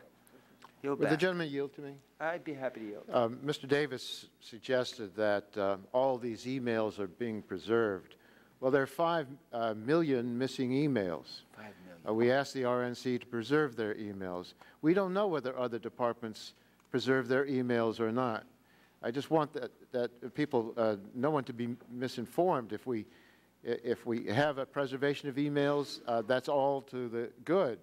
But the RNC um, ought to comply with our request, which is not for every email they have, but for those emails related to the issues Will the under gentleman yield? Mr. consideration. Chairman, I- the gentleman- I had- Gentleman. I'd gentleman be to from uh, to- Connecticut's time. I'd be happy Will you tell me, I I mean, I I think the concern here is that under the law, if these are put into the government system, they have to be preserved. That's the, that, that is my understanding of the law, so they are in the government system. Now, if somebody circumvented that, there's no evidence of that, and I think this becomes a big, giant fishing expedition. But once again, to try to get at the documents that the gen- gentleman wants, we're happy to work with him.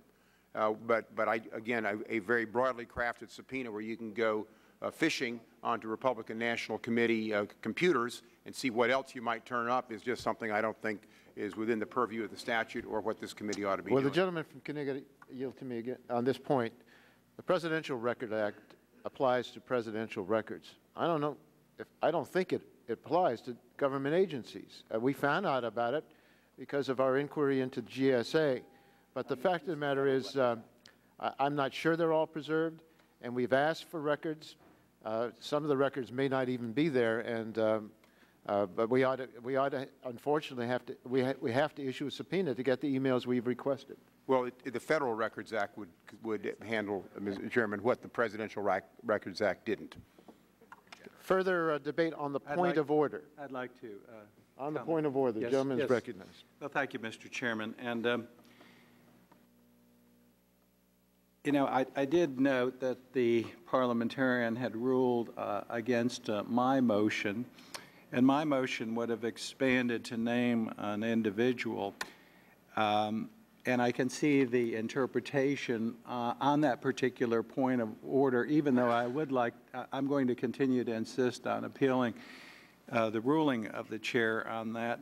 But I do believe that in fairness, um, uh, again, uh, and also in germaneness, uh, we've, we have now limited with the, uh, the pending motion before us or amendment before us to uh, the DNC and the RNC. Uh, When I, and, and I spoke at the beginning that I, uh, I participated in the GSA hearing, and I was surprised to hear, along with other members and the chairman, of the procedure of these political briefings, and I thought we should look at that. But I don't think it's fair, uh, uh, and honestly fair, for us to proceed in not looking at, at how this has been conducted over uh, the, the number of years and by both sides of the aisle. Uh, I think it is un, un, un- unfair to just point this in a political partisan fashion to the, the RNC. I know these briefings were conducted before. I'm, I'm sure these briefings were conducted uh, in, uh, in the Speaker's office, the, the current Speaker's office, uh, political briefings, uh, the previous Speaker's office, and in uh, federal buildings. And, uh, and I think it's only fair, again, that uh, that, uh, that we do allow Gentlemen, yield to me. If you have evidence of wrongdoing in Congress, it ought to be reported immediately to the Ethics Committee. Uh, It had been the position. Well, it's my, sus- it's my suspicion, I should say. I don't have hard evidence, but we don't have hard evidence that there was a misdeed uh, by the presentation of this, but I did agree with the chair and others when we found out of this procedure of providing these uh, uh, political briefings.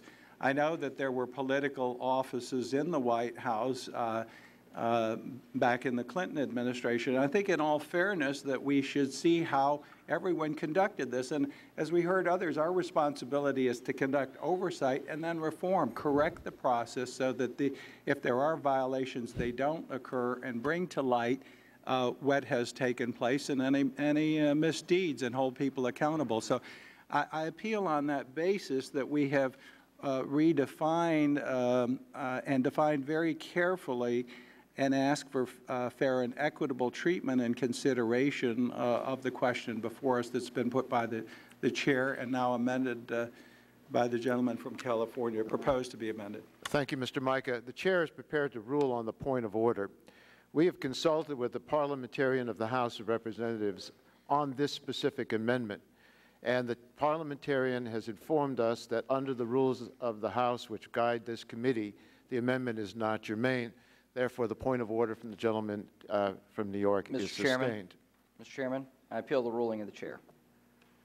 Uh, Gentleman appeals the ruling of the chair, and without objection, that uh, vote will uh, come uh, uh, later when we take all the other Mr. votes. Chairman, can I make a unanimous consent request? The parliamentarian ruled this not because this is not within the purview of this committee to issue the subpoena uh, that was requested uh, by the gentleman from California. It certainly is within the purview of the committee to do that. So it was not on jurisdictional grounds. I think it was narrowly uh, tailored because of the notice that was sent out. So we have the jurisdiction. I would ask unanimous consent that the committee be allowed to consider that and make it in order. Reserving the right to object. You don't have to object. You can, you- okay, go ahead. Now, I want to reserve the right to object because I'd like to, to point some things out. Uh, I thought the gentlelady from the District of Columbia pointed out that there was no predicate for this proposal that we examine the DNC, but there has been a factual predicate to look at the Republican National Committee because we have seen instances where people working in the White House have used the RNC account apparently for official uh, business. But for those who are anxious to find out what happened at the DNC, presumably that would have been during the last administration, I want the members just to know that between 1997 and 2001, this committee issued at least 34 information requests to the DNC, including 10 subpoenas, 19 requests for documents and information, five sets of interrogatories. The committee got all records relating to several DNC officials, all records relating to contacts between the DNC Finance Division staff and the White House from 93 to 97, all records relating to any meetings held at the White House attended by the DNC, all records relating to any White House computer database, which had to be reconstructed so that they could comply with this. All records relating to expenses DNC reimbursed, whether it was the expenses of the first family or travel on Air Force One or Air Force Two or Marine helicopters. All re- records relating to a long list of White House officials, Stephanopoulos, Jack Quinn, Cheryl Mills, Harold Ickes, Bruce Lindsey, Doug Sosnik. All records relating to the Department of Commerce, Justice, Housing and Urban Development, Department of Energy, National Security Council dating back to the first year of the Clinton presidency. All records relating to Clinton's Birthplace Foundation and the Hope Foundation. All records relating to many different Democratic fundraisers and uh, donors. In response, the DNC produced over 600,000 pages of documents to this committee. These documents included substantial production from the files of the DNC chairman, the DNC finance director, the DNC general counsel, and many other DNC officials. And I can give you examples of those documents. And after all that was received, there was no evidence that there was any wrongdoing by the White House or the DNC. Mr. Chairman, were spent millions of dollars on all of this. Mr. Chairman, will you yield? I, I will yield to you in a minute. And there was no evidence of wrongdoing. Now, if you want to plow, as they say in the law, old ground, or as we see colloquially, beat a dead horse, then we ought to get the DNC files, so you can look at them again. But you've had them all. And what we are asking for is the RNC uh, emails because they haven't been produced uh, to us. So uh, I, I, um, I, I'm going to yield to the, to uh, the, uh, Mr. Mr. Burton, but uh, I will, uh, at the appropriate time, make an objection to the unanimous consent request. Gentlemen, Mr. Mr. Burton. Chairman. Mr. Chil- uh, Mr. Chairman, I, I had not anticipated uh, really participating in this debate, but it's become necessary because you're going back to a great deal of things that took place when I was the chairman of the committee, and, and I think it's imperative that the record be made correct from, from my perspective, and, and I'm sure you're going to disagree. We had, when I was chairman, over 100 people take the Fifth Amendment or flee the country regarding the campaign finance scandal. They were leaving the country. They wouldn't talk to us. Uh, we had to issue subpoenas because we had to catch them before they left the country. Now, I talked to Chuck Ruff, who was the chief counsel at the White House, and he came down and he told me he was going to be completely cooperative and the White House was going to give us all the information we wanted. Subsequent to that, we couldn't get anything. They changed their mind. And so subpoenas were a necessity because we couldn't get the information. Uh, there were campaign contributions. We had testimony that there were campaign contributions that came from the communist government uh, from, a, from, a, from a source that was at the meeting when the, when the campaign contributions allegedly took place. We had uh, people testify that Indonesia, the, uh, uh, the Lippo group in Indonesia, gave well over a million or two million dollars to the Clinton administration. Uh, there was money that came in from uh, South America that had to be checked on. And, and it was a necessity that we issue those subpoenas. Now, you were, chair, you were the ranking Democrat at the time, Mr. Chairman, and you rightfully objected to what we were doing because you were trying to protect your administration, President Clinton, and the Democrat Party. But we had to try to get to the truth because there were all kinds of allegations of wrongdoing. We had testimony at that table where people were saying that they witnessed illegal campaign contributions coming into the White House and to the Clinton administration. And we couldn't get any cooperation, so we had to issue those subpoenas. The only reason I issued those subpoenas without consulting with the minority was because every time we tried to issue subpoenas uh, on this issue, this is the kind of thing we went into. And when we had so many people leaving the country so rapidly or taking the Fifth Amendment, we had to move rapidly, and that's why I issued subpoenas as quickly as possible. So I just wanted to uh, set the record straight. And, and regarding outside the campaign contributions uh, scandal that took place, uh, the second most wanted person on the FBI list, Marc Rich, was pardoned by the Clinton administration, and there was some question. Mr. Chairman, Now, let me just finish. red light's on. Yeah, no, that's okay. Gentlemen, uh, if There we'll was some question whether or not Marc Rich, through intermediaries, was giving money to the White House. Or, and, and there was also questions about a drug dealer in California giving campaign contributions, giving money to Bill Clinton's brother. All these things had to be checked out. And that's why we issued the numerous subpoenas we did, and I'm glad you let me put this on the record. Mr. Chairman. Mr. Burton. Uh, We're ready to, the, uh, there's an objection to the um, unanimous consent request. The chair will ask if there are further amendments to the proposed subpoena. If not, the previous question is ordered, and we will take the vote on that subpoena, but we will roll all the votes uh, until uh, at the end of this meeting. The second matter before us is an additional subpoena, and um, Uh, And this is my motion. I move that the committee direct the chairman to execute and issue a subpoena to the Republican National Committee seeking documents concerning the January 26, 2007 PowerPoint presentation attended by J. J. Scott Jennings, other similar political briefings provided at federal agencies, the use of federal agencies or resources to help Republican candidates, agreements between the RNC and other government entities concerning the use of RNC email accounts, policies, procedures, and communications concerning the use of these accounts, including preservation, storage, or destruction of the emails transmitted using the accounts. Um, That's the uh, proposal before us. Um, And so I can clarify it, I recognize myself for five minutes. Uh, Earlier this year, the committee learned of a partisan political briefing that was provided by the White House Office of Political Affairs to officials of the General Services Administration. This briefing, which reported on the results of the 2006 election and provided the GOP plan, GOP plan of attack for the 2008 election, was held at GSA headquarters and was broadcast over a video feed to GSA offices nationwide. At the end of the event, the GSA administrator asked, how can we use GSA to help our candidates in the next election? Several aspects of this partisan strategic event may have violated the Federal Hatch Act. Despite the possible violation of federal law inherent in this event, this, this presentation apparently wasn't a one-time occurrence.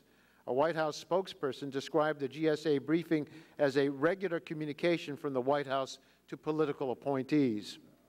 And according to press reports, Karl Rove and his top aides have been giving similar presentations to political appointees on a regular basis throughout the entire six years of the Bush administration.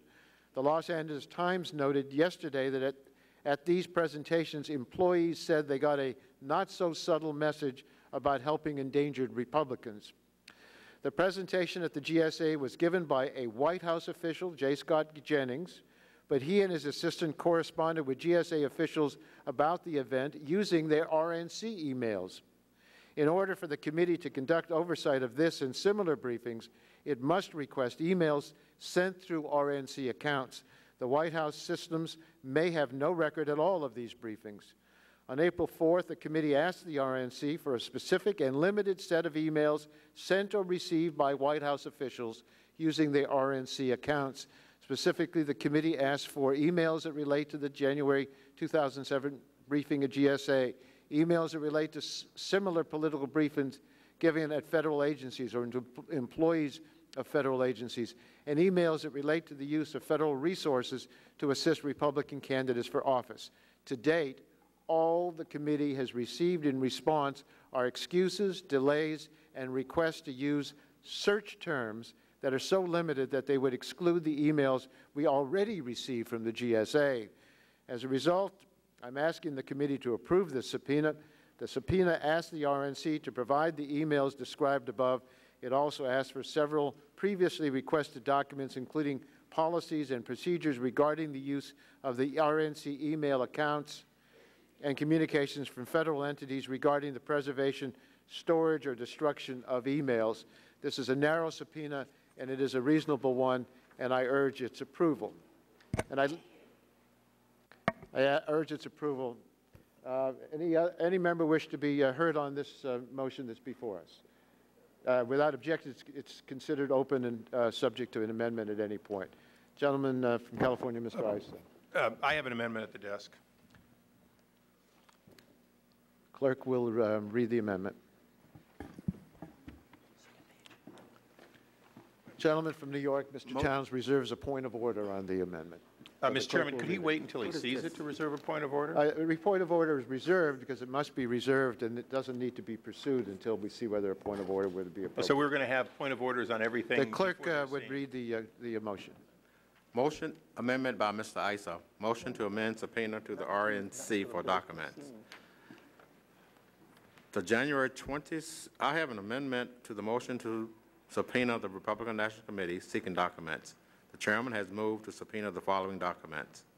The January 26, 2007 PowerPoint presentation. Your motion, is this your motion or your speech? No, I think they may What is your amendment? The amendment would limit the terms. I, uh, it would uh, amend the motion requiring the RNC to the following such terms complying with the enforcement, and the terms would be the GSA, General Service, et cetera.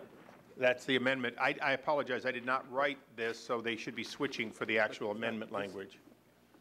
Just a Okay, moment. without objection, the amendment's considered read. The gentleman from California is recognized to Th- explain thank his you. amendment, and the gentleman from New York still has a point of order reserved. Thank you, Mr. Chairman. Uh, This one uh, is absolutely positively in order and requires a vote.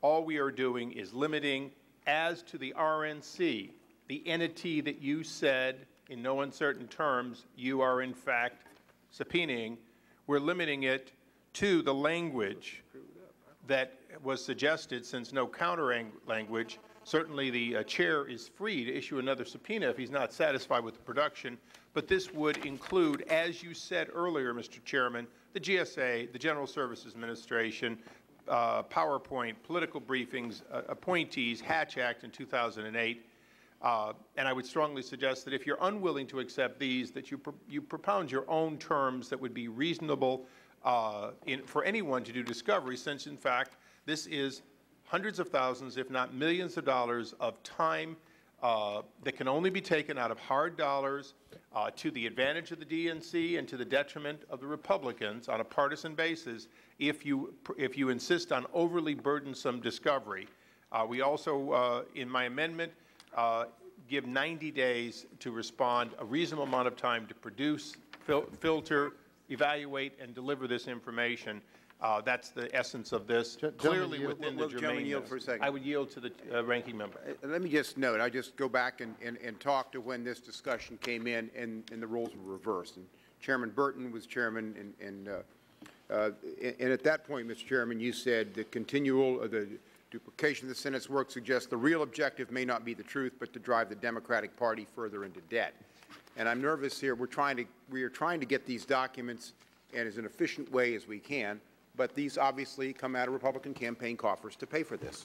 And I think we need to be very constructive in tailoring an appropriate subpoena that narrows the scope and just doesn't drive up costs. And that's, that's been my concern from the beginning. We have a right to get certain documents, but this has turned into a giant fishing expedition.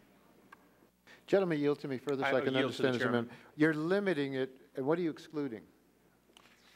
We're not excluding, we're providing the terms which they would provide all respon all documents responsive to the words GS, the initials GSA, the General Service Administration, et cetera. These words or initials, which are the sub, which are the logical subjects of this investigation, if any document contains any part of this, it would clearly be within the scope of the subpoena.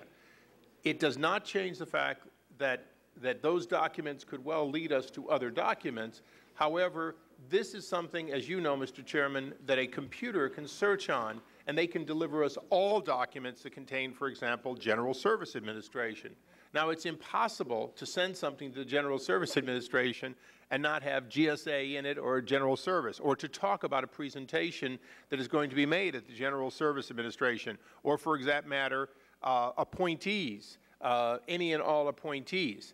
And certainly, if the chairman wanted to further amend this to, in, to include maybe other initials related to appointees, but a defined list, and I've put this forward as a, as a fair amendment, a defined list that they deliver all that are responsive to can be done by a computer in the tens of thousands of dollars rather than perhaps a million dollars or more, uh, clearly showing that you do not intend to drive the Republican Party further into debt, but rather get fair and reasonable discovery, and that's why I've done this. Okay, The gentleman, um, uh, first of all, the chair will state that this is a germane amendment, and the gentleman from New York therefore withdraws his point of order, so there is no point of order on germaneness. Uh, On the merits uh, discussion, Mr. Van Hollen. I think we need to begin with what the overall issue here uh, is with respect to this request. And there's clear evidence that the Bush administration was using federal taxpayer resources for political purposes. I mean, we only have to go back to the briefing paper that we received from the GSA showing the Karl Rove briefing listing the top House Democratic targets for 2008. And I think the American taxpayers would be greatly concerned and upset when they understood that their dollars were being used by the White House for political purposes. There have been lots of questions raised as to whether this was just GSA specific or something that happened in other agencies. The way you've got your amendment drafted, you just mentioned GSA. We already know what happened in GSA. This, you, you're, you would prevent us from, for example, looking at whether or not there were RNC documents that showed that U.S. taxpayer dollars were used for political purposes at other agencies. Would the gentleman let me, yield? Let me just, on the, on the other side, I think that your folks at the uh, RNC would be greatly upset if we ran a search on every document with the year 2008 in it and got every document that popped out with 2008. This just, this approach shows the shortcoming of trying to limit this by computer searches this way. There's a, as you know, there are rules that are followed with respect to document requests and relevancy issues that come up Right. with Would the gentleman requests. yield? And by narrowing the scope uh, in this way, you prevent people from looking to what I think, as I understood what the ranking member said, Mr. Davis, that there are documents that he believes we legitimately should have. And I think he would agree that if there's a document at the RNC showing that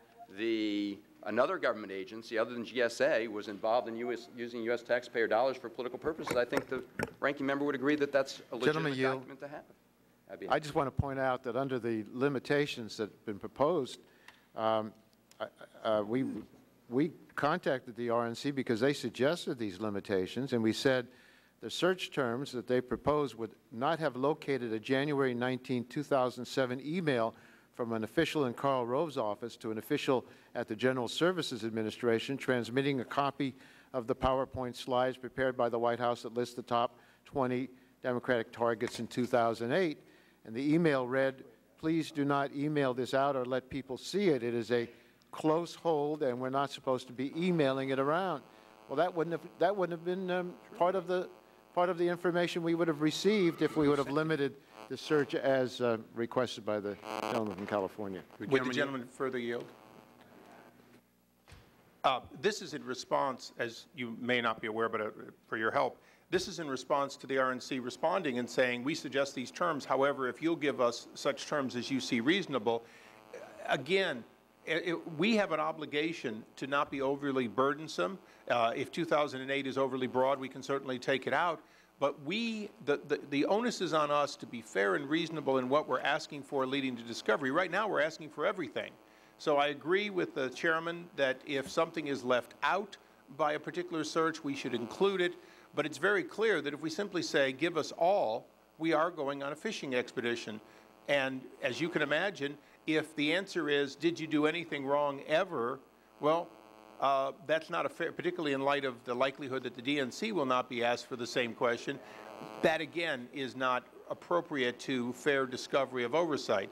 So, you know, I would, I would urge the gentleman to do a secondary amendment uh, on this, uh, or the chairman, uh, because I'm more than happy to have all the reasonable search terms. But as you can imagine, the alternative to search terms is, okay, give us your disk drives and let us look through your campaign finance records. Let us look through how you, how you recruit and get people to give you money. Let's look at what you said about other candidates. Obviously, that's not a fair, uh, that's an attack on a political process. It's not a discovery by a government entity. And remember, we're supposed to not be using federal money to, in fact, affect outcomes of election. At some point, we cross that line, and we are, in fact, affecting the outcome of election by taking away the dollars and using federal dollars to do it. Re- Reclaiming my time, uh, Mr. Chairman, because I- I'm just looking at the subject matter that the subpoena that proposed by the the chairman, the- the the subject matters.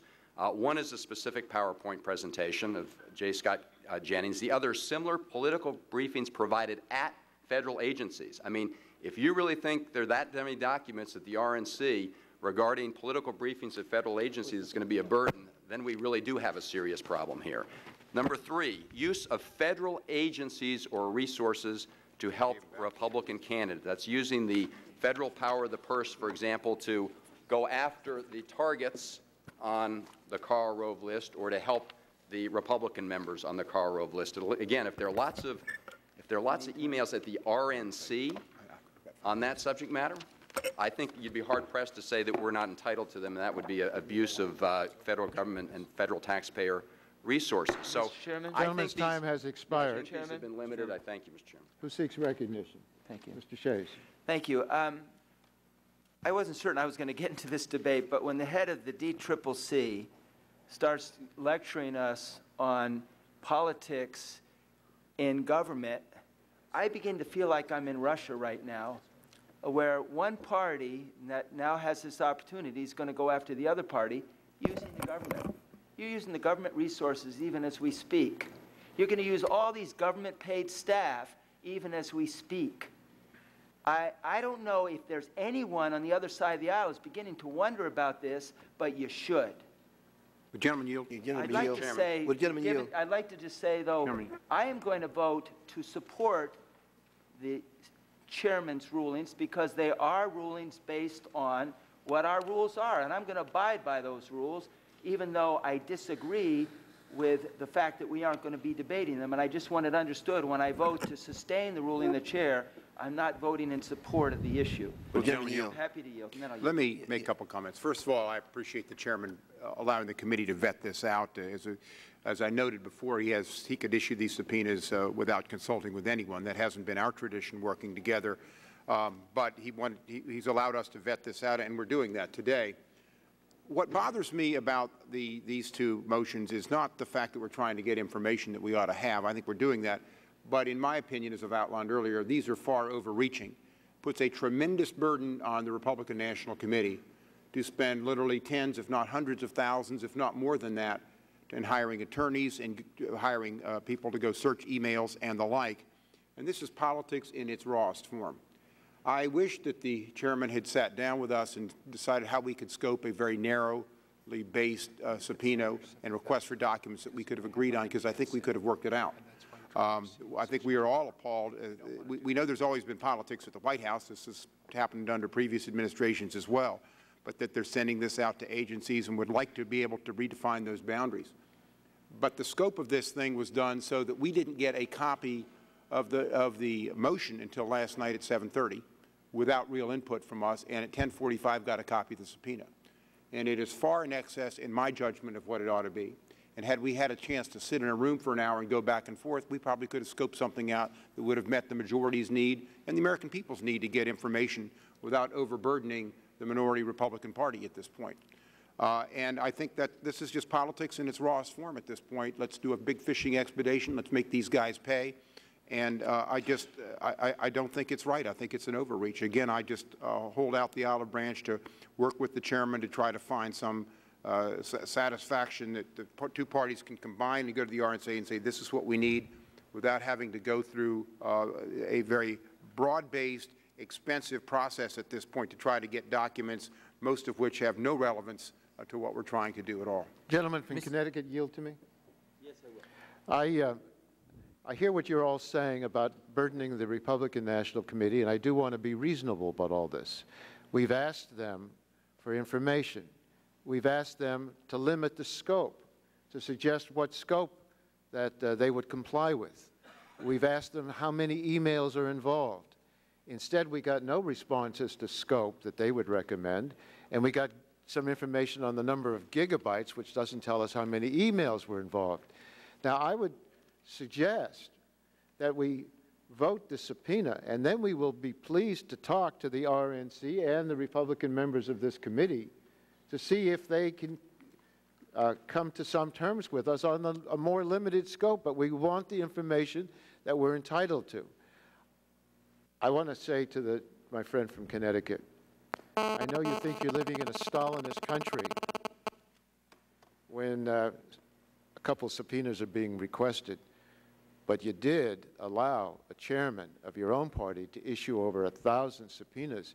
You not only allowed him to do it, you voted to give him that power. And I'm trying to exercise power in a moderate way and trying to bring everybody on board, and I hope we can continue to talk e- with each other. and Reclaiming make just that- a little bit of time. I Gentleman's have. time. Uh, I do Mr. want to thank the- the gentleman, the chairman, for allowing a debate, and I, uh, I, I I want that not to go unnoticed. Thank you. Gentleman's time has expired. Gentlelady from uh, California, Ms. I want to commend you, Mr. Chairman, for your fairness. Uh, I'm over here on your far left, and uh, I've been watching that clock, and certainly those people on your right uh, have had plenty of time. Uh, I'm inquiring about, uh, it seems like the time is running out, and we have not gotten to our five minutes to debate the three issues that were in, that are germane that were in front of us.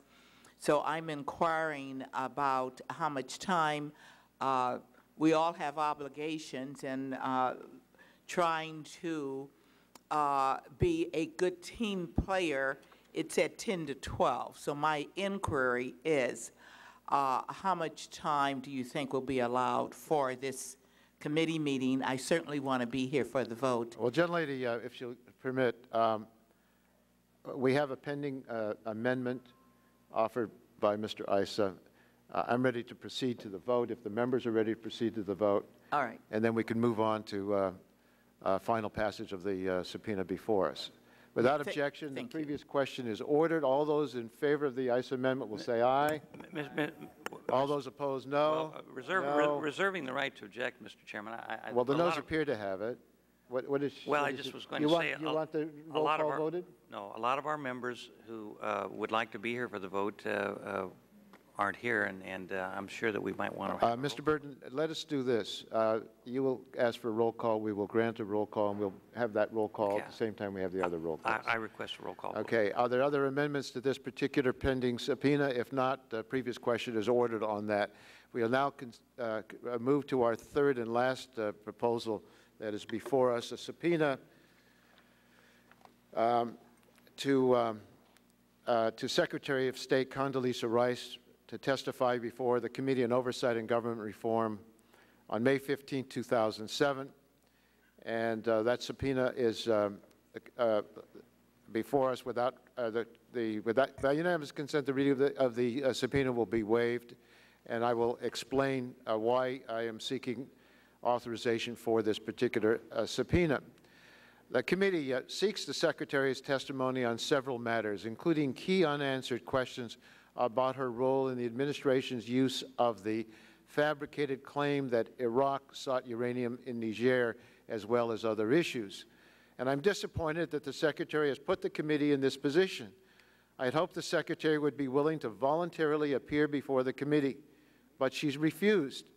And we've reached this point only after the committee's many attempts to obtain information from the Secretary have, fa- have failed. And I'd like to spend a few minutes talking about Dr. Rice's role and statements regarding the claim the administration made that Iraq sought uranium in Niger. The administration's claim that Iraq could pose a nuclear threat was at the center of its case for war. Indeed, this assertion was key to the decision of many members of Congress, including myself, to support the resolution authorizing the use of force in Iraq. It therefore raised enormously serious questions when Congress and the public learned that there were flaws, with not just minor ones, but serious flaws with the intelligence underpinning the administration's nuclear case. On January 28, 2003, the President said his famous 16 words, claiming in the State of the Union the most heavily vetted speech a president makes, that Iraq sought uranium from Africa. Yet three months later, UN inspectors announced that the support for that claim, purported letters between Iraq and Niger, were nothing but crude forgeries. By June, Condoleezza Rice had taken to the airwaves to defend the White House and cast the blame on the intelligence community. Appearing on multiple national news shows, she claimed that the intelligence committee, excuse me, quote, the intelligence community did not know at that time or at levels that got to us that this, that there were serious questions about that report, end quote. This statement was false. In October 2002, the CIA sent two memos to the White House warning against using the Niger claim. One of those memos was addressed directly to Secretary Rice. Both were addressed to her top deputy, Stephen Hadley, and her replacement, by the way, at the National Security Council. And to reinforce the points in the memo, the director of the CIA called Mr. Hadley personally to ask him to remove the claim from a speech the president was giving in Cincinnati. Ms. Rice's statement also contradicted the national intelligence estimate issued uh, in October 2002. The NIE is a document that the Secretary Rice cites repeatedly to justify her position. But the NIE states explicitly that the State Department, the Department Secretary Rice now runs, found the claims highly dubious. The State Department doubts about Iraq's nuclear capabilities were not buried in the NIE. The key judgments section of the NIE contains a detailed discussion of the State Department's alternative view of Iraq's nuclear program. In the past four years, I have written multiple letters to Secretary Rice to learn more about the fabricated Niger claim. The first reply I ever received was last month. Since then, I've received two additional letters. The gist of the letters is that the Secretary either didn't know about the forged evidence or forgot what she knew. Uh, her staff has also suggested that the Secretary is too busy to answer these questions. The claim about Iraq's nuclear capability was the centerpiece of the administration's case for war. It led to a war in which thousands of American men and women have lost their lives or been severely injured. It has led to a war that has cost many, many lives and injuries of the Iraqi people. Congress and the American public deserves a better explanation than, I forgot, or I didn't read the memo. The Republicans on this committee had four years to investigate this misleading intelligence that got us into the war in Iraq, but they didn't hold one hearing. They didn't issue one subpoena, and they didn't even ask a single question. We will hear today that there have already been several investigations into why the intelligence about Iraq was so wrong. There have been some investigations, but they all looked at the, the mistakes made by the intelligence agencies there has been no inquiry about what went wrong inside the White House. And the stack of papers that Mr. Davis is about to hold up to show that this has been thoroughly investigated will not show any investigation of what went wrong inside the White House. There was one person in the White House who had the primary responsibility to get the intelligence about Iraq right, and that was now Secretary Rice who was at that time President Bush's national security advisor. She has never testified in public about what she may know about how the intelligence was used or misused by the White House. That is all we are asking her to do. The days of averting our eyes from the hard questions are over. The American public was misled about the threat posed by Iraq, and this committee is going to do its part to find out why. So I urge members to support this subpoena. And I now recognize uh, uh, Mr. Davis for five minutes.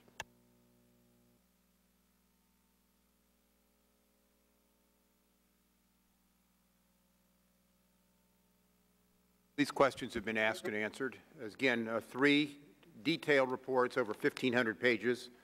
Uh, one uh, by the House of Commons in Britain, talking about the state of uh, intelligence at that time one on a report to the President of the United States, interviewed White House and administration personnel by former Senator Robb and Mr. Silberman, 700 pages. This is the Commission on the Intelligence Capabilities Regarding Weapons of Mass Destruction. And finally, a report on the U.S. intelligence community's pre-war intelligence assessments in Iraq that includes lengthy discussions on Niger. This was by the Intelligence Committee, unanimous report by the U.S. Senate Intelligence Committee at this point. So this has been vetted. Uh, Secretary uh, Rice uh, has been has answered these questions. In fact, she was in her confirmation for Secretary of State addressed a number of the issues under oath that uh, Mr. Waxman wants to bring up uh, uh, before today. My concern is, number one, I, I, don't know of any record of a Secretary of State ever having appeared before this committee before. We are not a committee of jurisdiction. We're a committee of oversight. In the last Congress, because of the intelligence nature of these issues, we obviously deferred to committees uh, uh, on intelligence, uh, defense, uh, foreign relations, other com uh, committees that have jurisdiction on these issues to ask those type of questions. Um, but what concerns me is, again, over the next two months, which is when the subpoenas would take place, is she supposed to cancel her trip to Oslo, Norway for the meeting with NATO foreign ministers, cut out her travel to Egypt for the Iraq Neighbors Conference, something that the majority has urged her uh, to do. Travel to Russia, cut that out. Uh, move her travel to the Middle East to continue negotiations with the Middle East, or cut out her travels to Asia to discuss, among other things, a six-party response to North Korea, um, and a number of other uh, uh issues which I have previously noted. Um, Chairman has written 16 letters uh, and says that he's only responded satisfactorily uh, to five of them. satisfactorily is in the eye of the beholder. He sent 54 letters to the Department of State from January 2003 to April 2007, 25 of which have been, and I ask unanimous consent that they go into the record. With the exception of a February, Without objection, that'll with be the the exception of a February 17th letter in which the department has no record of receiving but has since addressed, all of these letters have received a response, and in the overwhelming majority of cases, a formal response. This doesn't include letters addressed to Dr. uh, Rice when she was National Security Advisor. Some of these letters were not answered, but the committee does not, of course, have the same oversight responsibilities with regard to the White House staff as it does with the State Department. Um, all of his, Mr. Waxman's 54 letters uh, received a response. Some of them were signed by himself, some with other members, uh, some by Republicans. One of the issues the committee is examining is why the President uh, asserted in his State of the Union address in 2003 that Iraq sought uranium from Niger. The facts concerning the Iraq-Africa uranium connection and its inclusion in the President's State of the Union address have been extensively covered in at least three separate report and investigations, which we have uh, already presented here. Uh, thousands of man-hours involving hundreds of interviews have been spent in these investigations. The relevant documents were provided uh, to the Senate committee, which analyzed and discussed them in great detail in a large section of its 500-plus page report in 2004. Um, we've already gone through some of the other issues about uh, what she knew about the fabricated Niger claim. She's spoken publicly and in detail on this issue on more than one occasion, including a July 11, uh, 2003 press conference, a July 30, 2003 television interview on PBS, and other media appearances and interviews. These were provided to the committee. She has said, among other things, that when the line was put into the President's State of the Union address and cleared by the CIA, when I read the line, I thought it was completely credible, and that, in fact, it was backed by the agency. That's her testimony. She's not going to change it when she comes up here under oath, but she's going to take a day or two to prepare for the testimony, a day out of her work schedule to come up here. She's answered these questions, asked and answered. What she hasn't done is given the answers that this committee would like. She has also said that knowing what we know now, that some of the Niger documents were apparently forged, we wouldn't have put this in the President's speech. But that's knowing what we know now. That's conceded. So where do we go with more investigation? Furthermore, Senator Levin asked a series of very similar questions in 2005 when her confirmation came up as Secretary of State. Among other things, she stated, I do not recall intelligence community concerns about the reports of Iraq's attempts to obtain uranium from Africa either at the time of the Cincinnati speech or the State of the Union speech. With these answers provided, the U.S. Senate subsequently voted to confirm her as Secretary.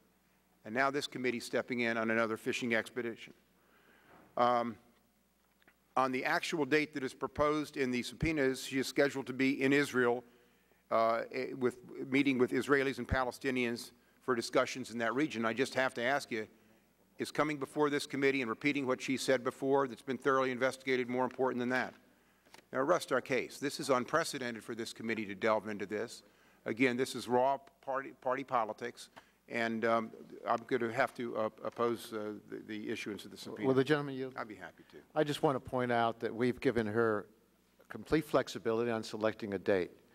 Uh, the date that we selected was a, a, date because we wanted a date. We were certainly willing to accommodate her schedule. I think a Secretary of State or a public official of, of, Mrs., of Dr. Rice's stature in making the decisions she has uh, she ought to be able to testify before a committee of the Congress. I don't think her press conferences or her TV interviews are sufficient. And uh, you pointed out that we don't have the same oversight jurisdiction that we have over White House staff that we do over a department.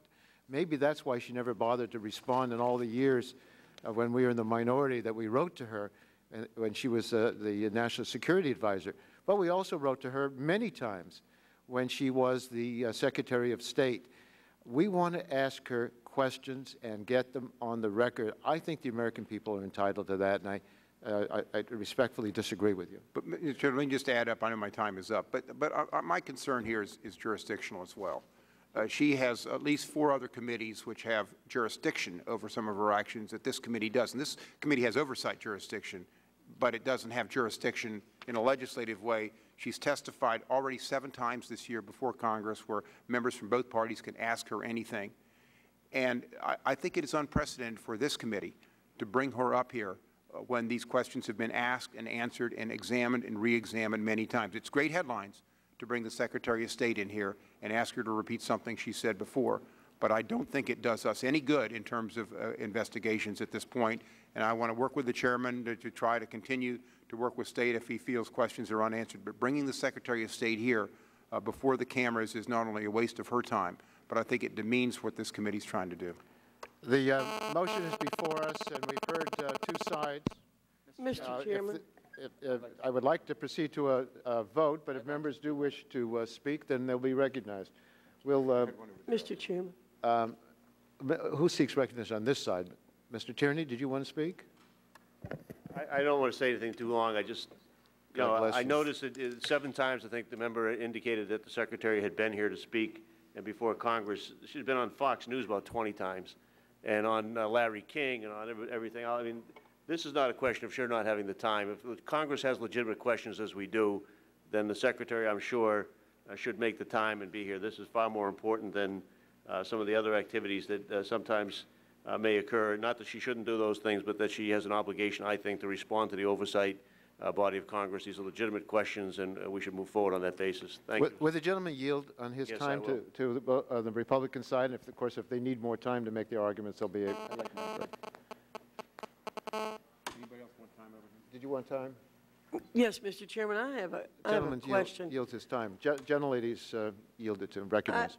I was l- listening to your statement, and I don't believe we have a copy of the statement, but I wanted to make sure that I heard something that you said correctly. Um, And again, not having, having the statement in front of me, I can't go to it, but you mentioned a statement that the secretary gave, and then you said, as if I heard it correctly, this statement was false. Are you saying that uh, the Secretary of State has lied before hearing her? Because that's what I'm hearing you say, and I'd, I'd like a copy of your statement because I want to get a clarification if that's what you're saying. Yeah. Uh, If the gentleman from uh, Massachusetts will yield to Gentleman me to respond. The, um, the questions were whether the CIA knew that the for, there was a forgery and the information was incorrect about uh, the claim that they were trying to get uranium from Niger. The CIA advised, according to the CIA, the National Security Agency and Dr. Rice about this.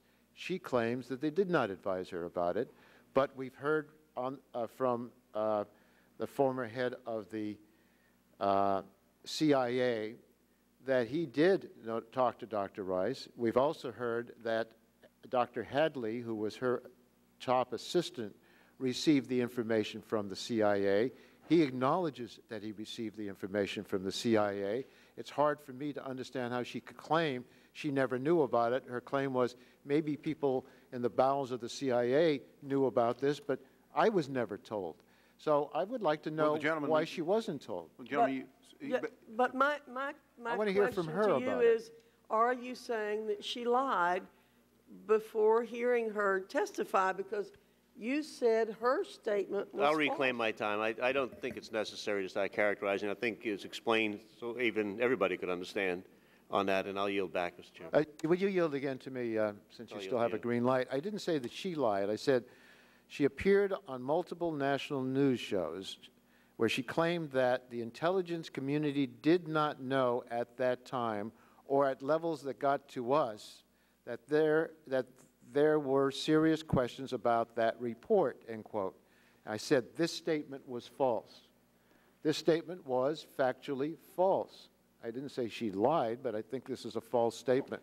And I think uh, uh, we ought to hear from her directly. This is on a very important event in the history of this country, and she was in the key position, and I think it's uh, only fair to her and to all of us and the American people and to history to hear from her directly and to be able to ask her some questions about it. Mr. Chairman.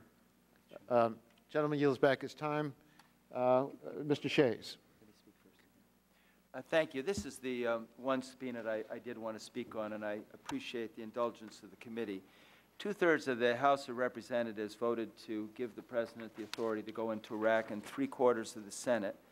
And obviously, this was a decision that each of us made uh, from our hearts. We, we didn't try to convince other people to make a decision like this, because you have to live with it, my God, the rest of your life. I met with the French, the Brits, the Turks, the Jordanians, and the Israelis. They all thought Saddam had weapons of mass destruction. They all thought, except for the French, that he would use it. The Israelis, um, coincidentally, uh, had an investigation of how they could be so wrong. Uh, you could add it to the pile that, that uh, the, uh, the ranking member um, has held up. And they concluded they were wrong. They didn't conclude they lied. They didn't conclude anything other than they were damn wrong. Now, you know, I remember George Romney years ago saying when he supported the war in Vietnam uh, that he was brainwashed by, by the generals. Sometimes I think we, we want to blame everybody else for the decisions we made. Each one of us made this decision. It wasn't Condoleezza Rice's fault. It even wasn't the Secretary of Defense, uh, our Secretary of State. We all made a conclusion, and we all have to live with it. And I think now what's, what's happening is we want to blame somebody else for a decision we made. I don't blame anyone else. I made that decision. I could even say I was impacted by a president, and he didn't happen to be George W. Bush. He happened to be President Bill Clinton. I suspect in the, some part of my mind that maybe Hillary Clinton was more impacted by, by another president other than George W. Bush. What you will succeed in getting here here is either to have her say the same thing or say, you know what, I made a mistake, uh, maybe I misled, then what? Then are you going to ask to impeach her? Is that going to help us win the war in Iraq or help us get our troops home? What will be accomplished by this other than some real satisfaction? I've seen that satisfaction from my own side of the aisle. I, I saw how he tried to get rid of a president through impeachment. I voted against impeachment for one reason alone. I knew it would just be somebody else's term later. So now you have the majority. Now you can do what you saw some Republicans do. You can get that satisfaction. But then I, I know what's going to happen. The same thing will happen to you that happened to us. The American people say, I'm fed up with it. And they're going to vote you out of office just like they voted us out of office. I'd be happy to yield to Thank Mr. you. Davis. Let me just. Mr. Chairman. Uh, um, Let me just note that these questions have been asked and answered under oath. In her confirmation hearing, under oath, she says, "I don't recall intelligence community concerns about the credibility of reports about Iraq's attempts to obtain uranium from Africa, either at the time of the Cincinnati speech or the State of the Union." She said, "I did discuss with Stephen Hadley concerns the intelligence community had about protecting sources and methods regarding reports on Iraqi attempts to procure uranium from Africa. These concerns were addressed by citing a foreign government service. I don't recall any discussion of concerns about the credibility of the reports. I don't recall discussing intelligence community doubts with Director Tenet prior to the State of the Union, and I don't recall reading or receiving the CIA memo of October 2002. However, I was aware of the October 2002 National Intelligence Estimate stating Iraq also began vigorously trying to procure uranium ore and yellowcake. Acquiring either could shorten the time Baghdad needs to produce nuclear weapons. These were under oath before a Senate committee, asked and answered. It just seems to me, to, if, if she couldn't recall it in 2005, I don't think she's going to recall it today. These have been asked and answered and over-reported, uh, and independent groups have looked at this as well and supported it. This is just nothing more but an attempt to get the Secretary of State to come in here and uh, take, take time from her schedule and rehash this whole thing and make political headlines. And it's not what we ought to be doing. Gentleman's time has expired. Who seeks recognition? Gentlelady from uh, California. From uh, California. Can we get to the vote? Um, Because I would like to hear directly from the Secretary of State. You can read all of that, but I voted against this war, and I want to hear from her why she gave us out misinformation. So can we move the question, The Mr. gentlelady Chairman? yield to me. Oh, keep going. You got it. Thank you. It just seems to me that this administration has a lot of people that don't recall things. Mm-hmm. She didn't recall this, she didn't recall that. We heard that from Lurita Doan. We had five witnesses that heard her say at the end of their political presentation, what can we do to help our Republican candidates? We heard it from the Attorney General.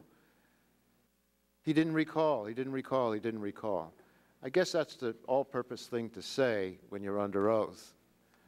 But I want to know, what did she know about this? I voted for this war, Mr. Shays, based on some old-fashioned deference that the President of the United States has more information than I do, and that he said that Saddam Hussein was, uh, that he was going to have a nuclear weapon. In fact, the statement they used over and over again is we don't want a smoking gun to be a nuclear cloud.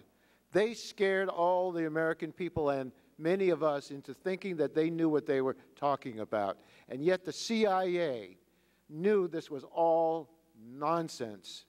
And she was informed about it as best I can tell. And how she, as the chief person in charge of intelligence for the President of the United States, couldn't recall? If that's her answer, then let her say it. I'm not asking for anything extraordinary. I'm only asking for a hearing.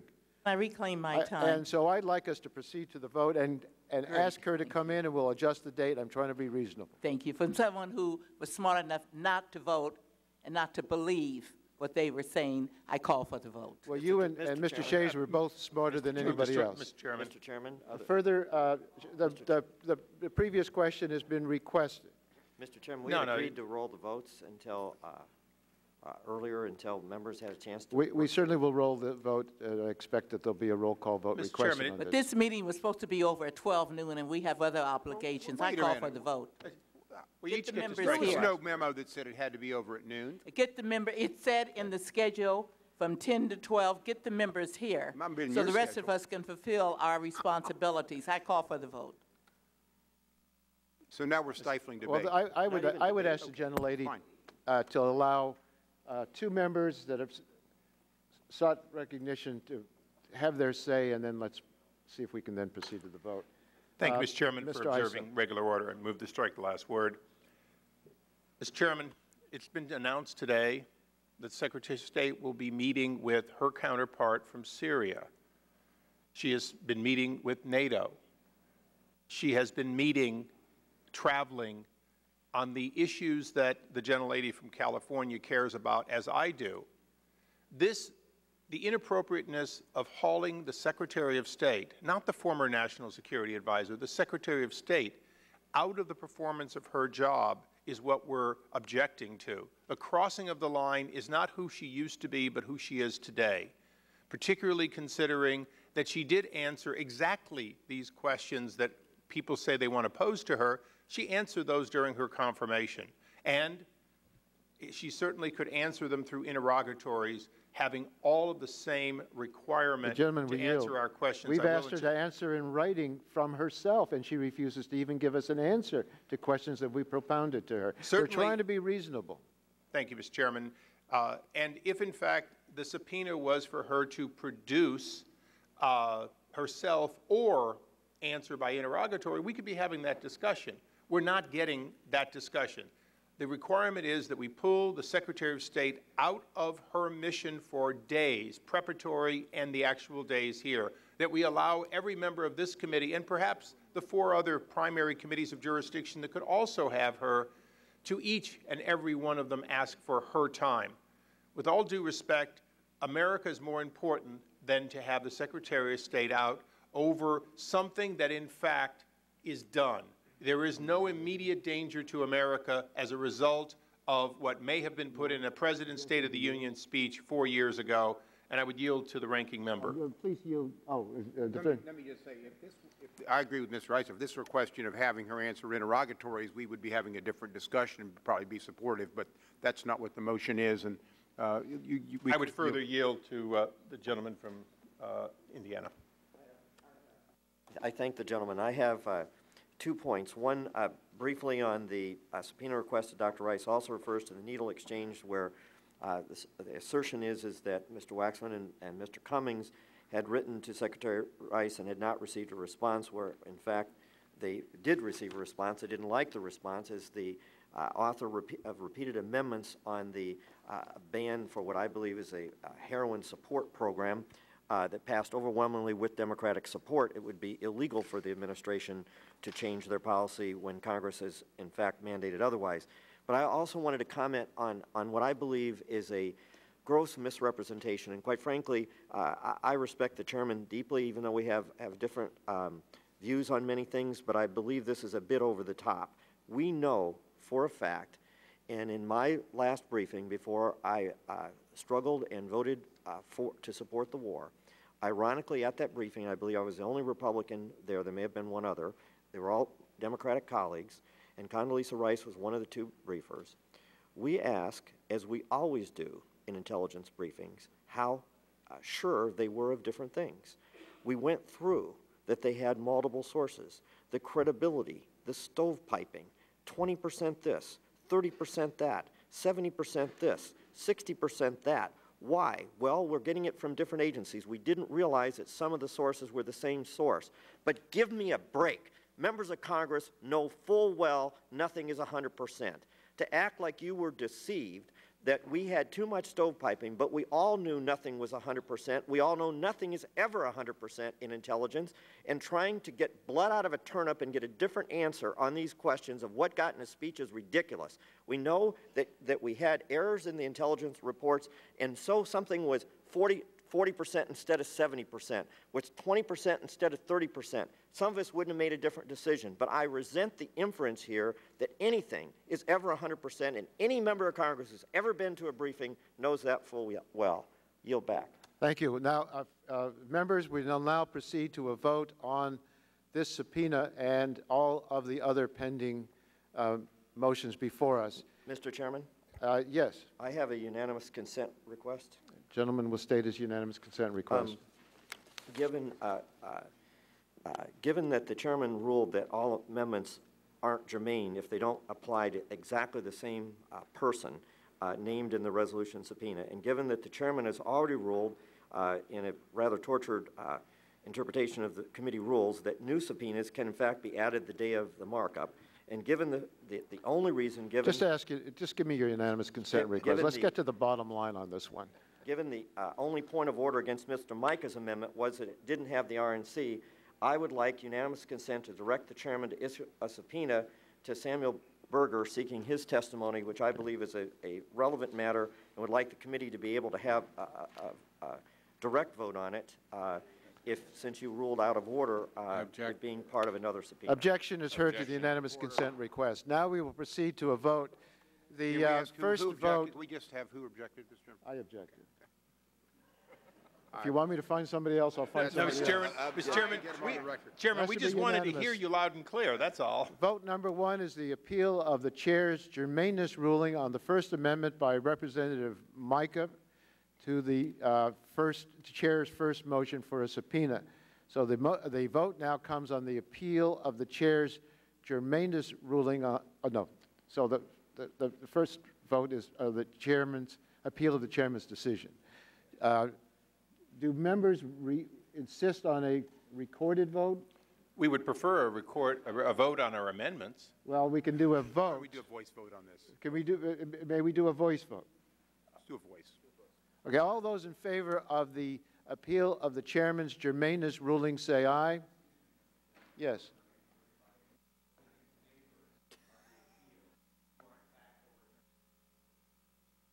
That's correct. Chair recommends a no on this, is that right?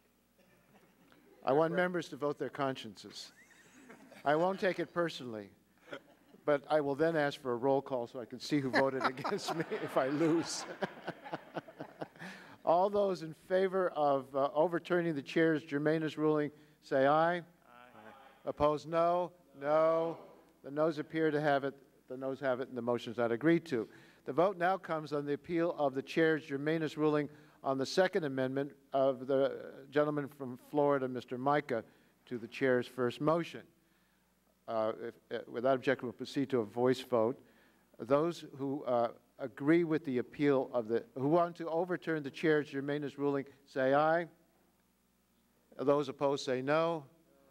The noes appear to have it. The motion is not agreed to. Uh, vote now comes on the first subpoena uh, requested by the chairman to the RNC chair for testimony and documents. Do you want a roll call? Okay, uh, the clerk will call the roll.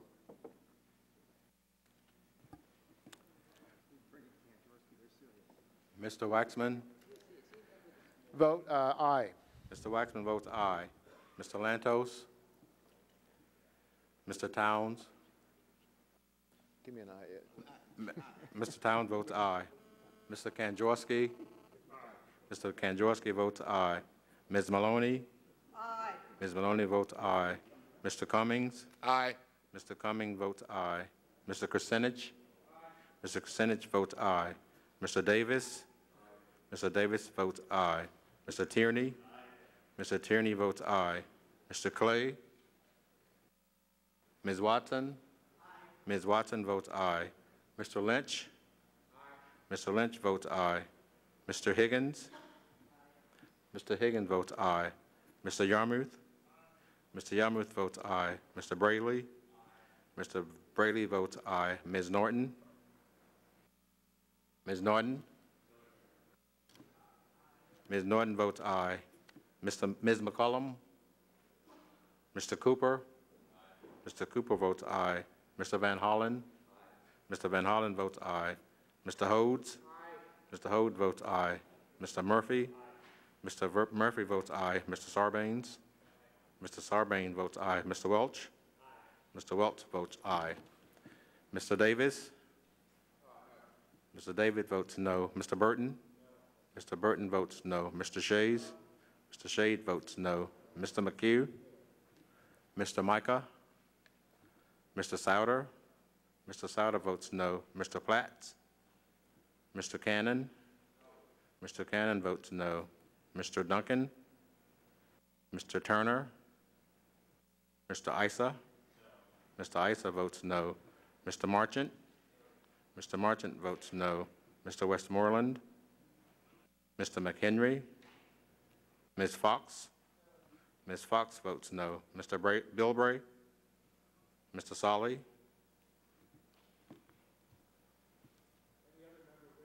Any other member wish to uh, vote? If not, the uh, clerks will report the vote. We have 20 ayes, eight noes. 20 ayes, eight noes. The, uh, the uh, subpoena is agreed to. The motion's agreed to. Now we come to the second um, proposed subpoena, and the first item on that is an amendment to the chair's proposal by a gentleman from California, Mr. Issa, uh, to limit the RNC search through search terms. Mr. Issa, do you want a recorded vote or a voice vote? Mr. Chairman, I believe that it was well within the purview and should have been ruled germane, so on this, I would ask for a recorded vote. Okay. Those who, um, well, no, no, it was ruled germane. We debated it, and uh, it's just on the amendment itself. Your amendment was germane. Yeah, you, you, you want, you a roll call on your amendment? Am I, yes, oh, no. No, we didn't? This is on your amendment. You want, Okay, thank you, thank you, Mr. Chairman. Uh, We'll do a voice. Okay, all those in favor of the uh, Issa amendment to uh, limit the uh, scope of the uh, motion will say aye. Aye. Opposed, no. No. No, it appears that the noes appear to have it, the noes have it, and the amendment's not agreed to. There, that, that brings us to the second uh, proposed subpoena request offered by the chairman to the Republican National Committee. Uh, uh, How do we, members wish to proceed? Do you want a roll call vote on that or a voice vote? we can voice this and go to a, a roll call on the last one. Okay, all those in favor of the um, uh, motion uh, uh, second, sub- to support the second subpoena to the RNC, uh, say aye. Aye. Aye. Opposed, no. No. The ayes appear to have it, the ayes have it, and the motion's agreed to. The last vote is on the motion uh, by the chairman uh, with regard to Secretary of State Rice, and let's uh, uh, call the roll. Mr. Waxman? Aye. Mr. Lantos? Mr. Towns? Aye. Mr. Towns votes aye. Mr. Kanjorski? Mr. Kanjorski votes aye. Ms. Maloney? Aye. Ms. Maloney votes aye. Mr. Cummings? Aye. Mr. Cummings votes aye. Mr. Kucinich? Mr. Kucinich votes aye. Mr. Davis, Illinois? Aye. Mr. Davis votes aye. Mr. Tierney? Aye. Mr. Tierney votes aye. Mr. Clay? Ms. Watson? Aye. Ms. Watson votes aye. Mr. Lynch? Aye. Mr. Lynch votes aye. Mr. Higgins? Aye. Mr. Higgins votes aye. Mr. Yarmuth? Mr. Yarmuth votes aye. Mr. Braley? Mr. Braley votes aye. Ms. Norton? Ms. Norton votes aye. Ms. McCollum? Ms. McCollum votes aye. Mr. Cooper? Mr. Cooper votes aye. Mr. Van Hollen? Mr. Van Hollen votes aye. Mr. Hodes? Mr. Hodes votes aye. Mr. Murphy? Mr. Murphy votes aye. Mr. Sarbanes? Mr. Sarbanes votes aye. Mr. Welch? Mr. Welch votes aye. Mr. Davis, Virginia? Mr. Davis votes no. Mr. Burton? Mr. Burton votes no. Mr. Shays? Mr. Shays votes no. Mr. McHugh? Mr. Mica? Mr. Souder? Mr. Souder votes no. Mr. Platts? Mr. Cannon? Mr. Cannon votes no. Mr. Duncan? Mr. Turner? Mr. Issa? Mr. Issa votes no. Mr. Marchant? Mr. Mar- March- Marchant votes no. Mr. Westmoreland? Mr. McHenry? Mr. McHenry votes no. Mrs. Foxx? Ms. Foxx votes no. Mr. Bilbray? Mr. Sali? Mr. Sali votes no. Any other me- member wish to respond to the roll? If not, the clerks will tally the vote.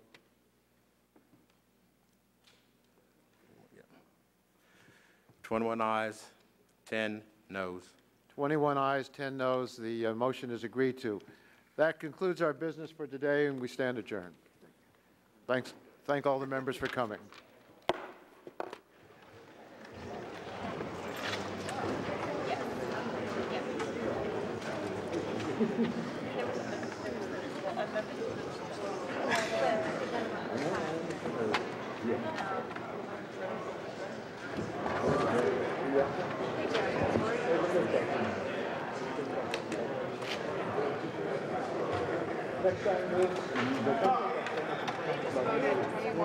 On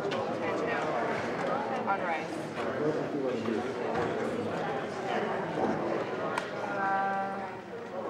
Yeah, and then they had a on the. No, no, he wasn't.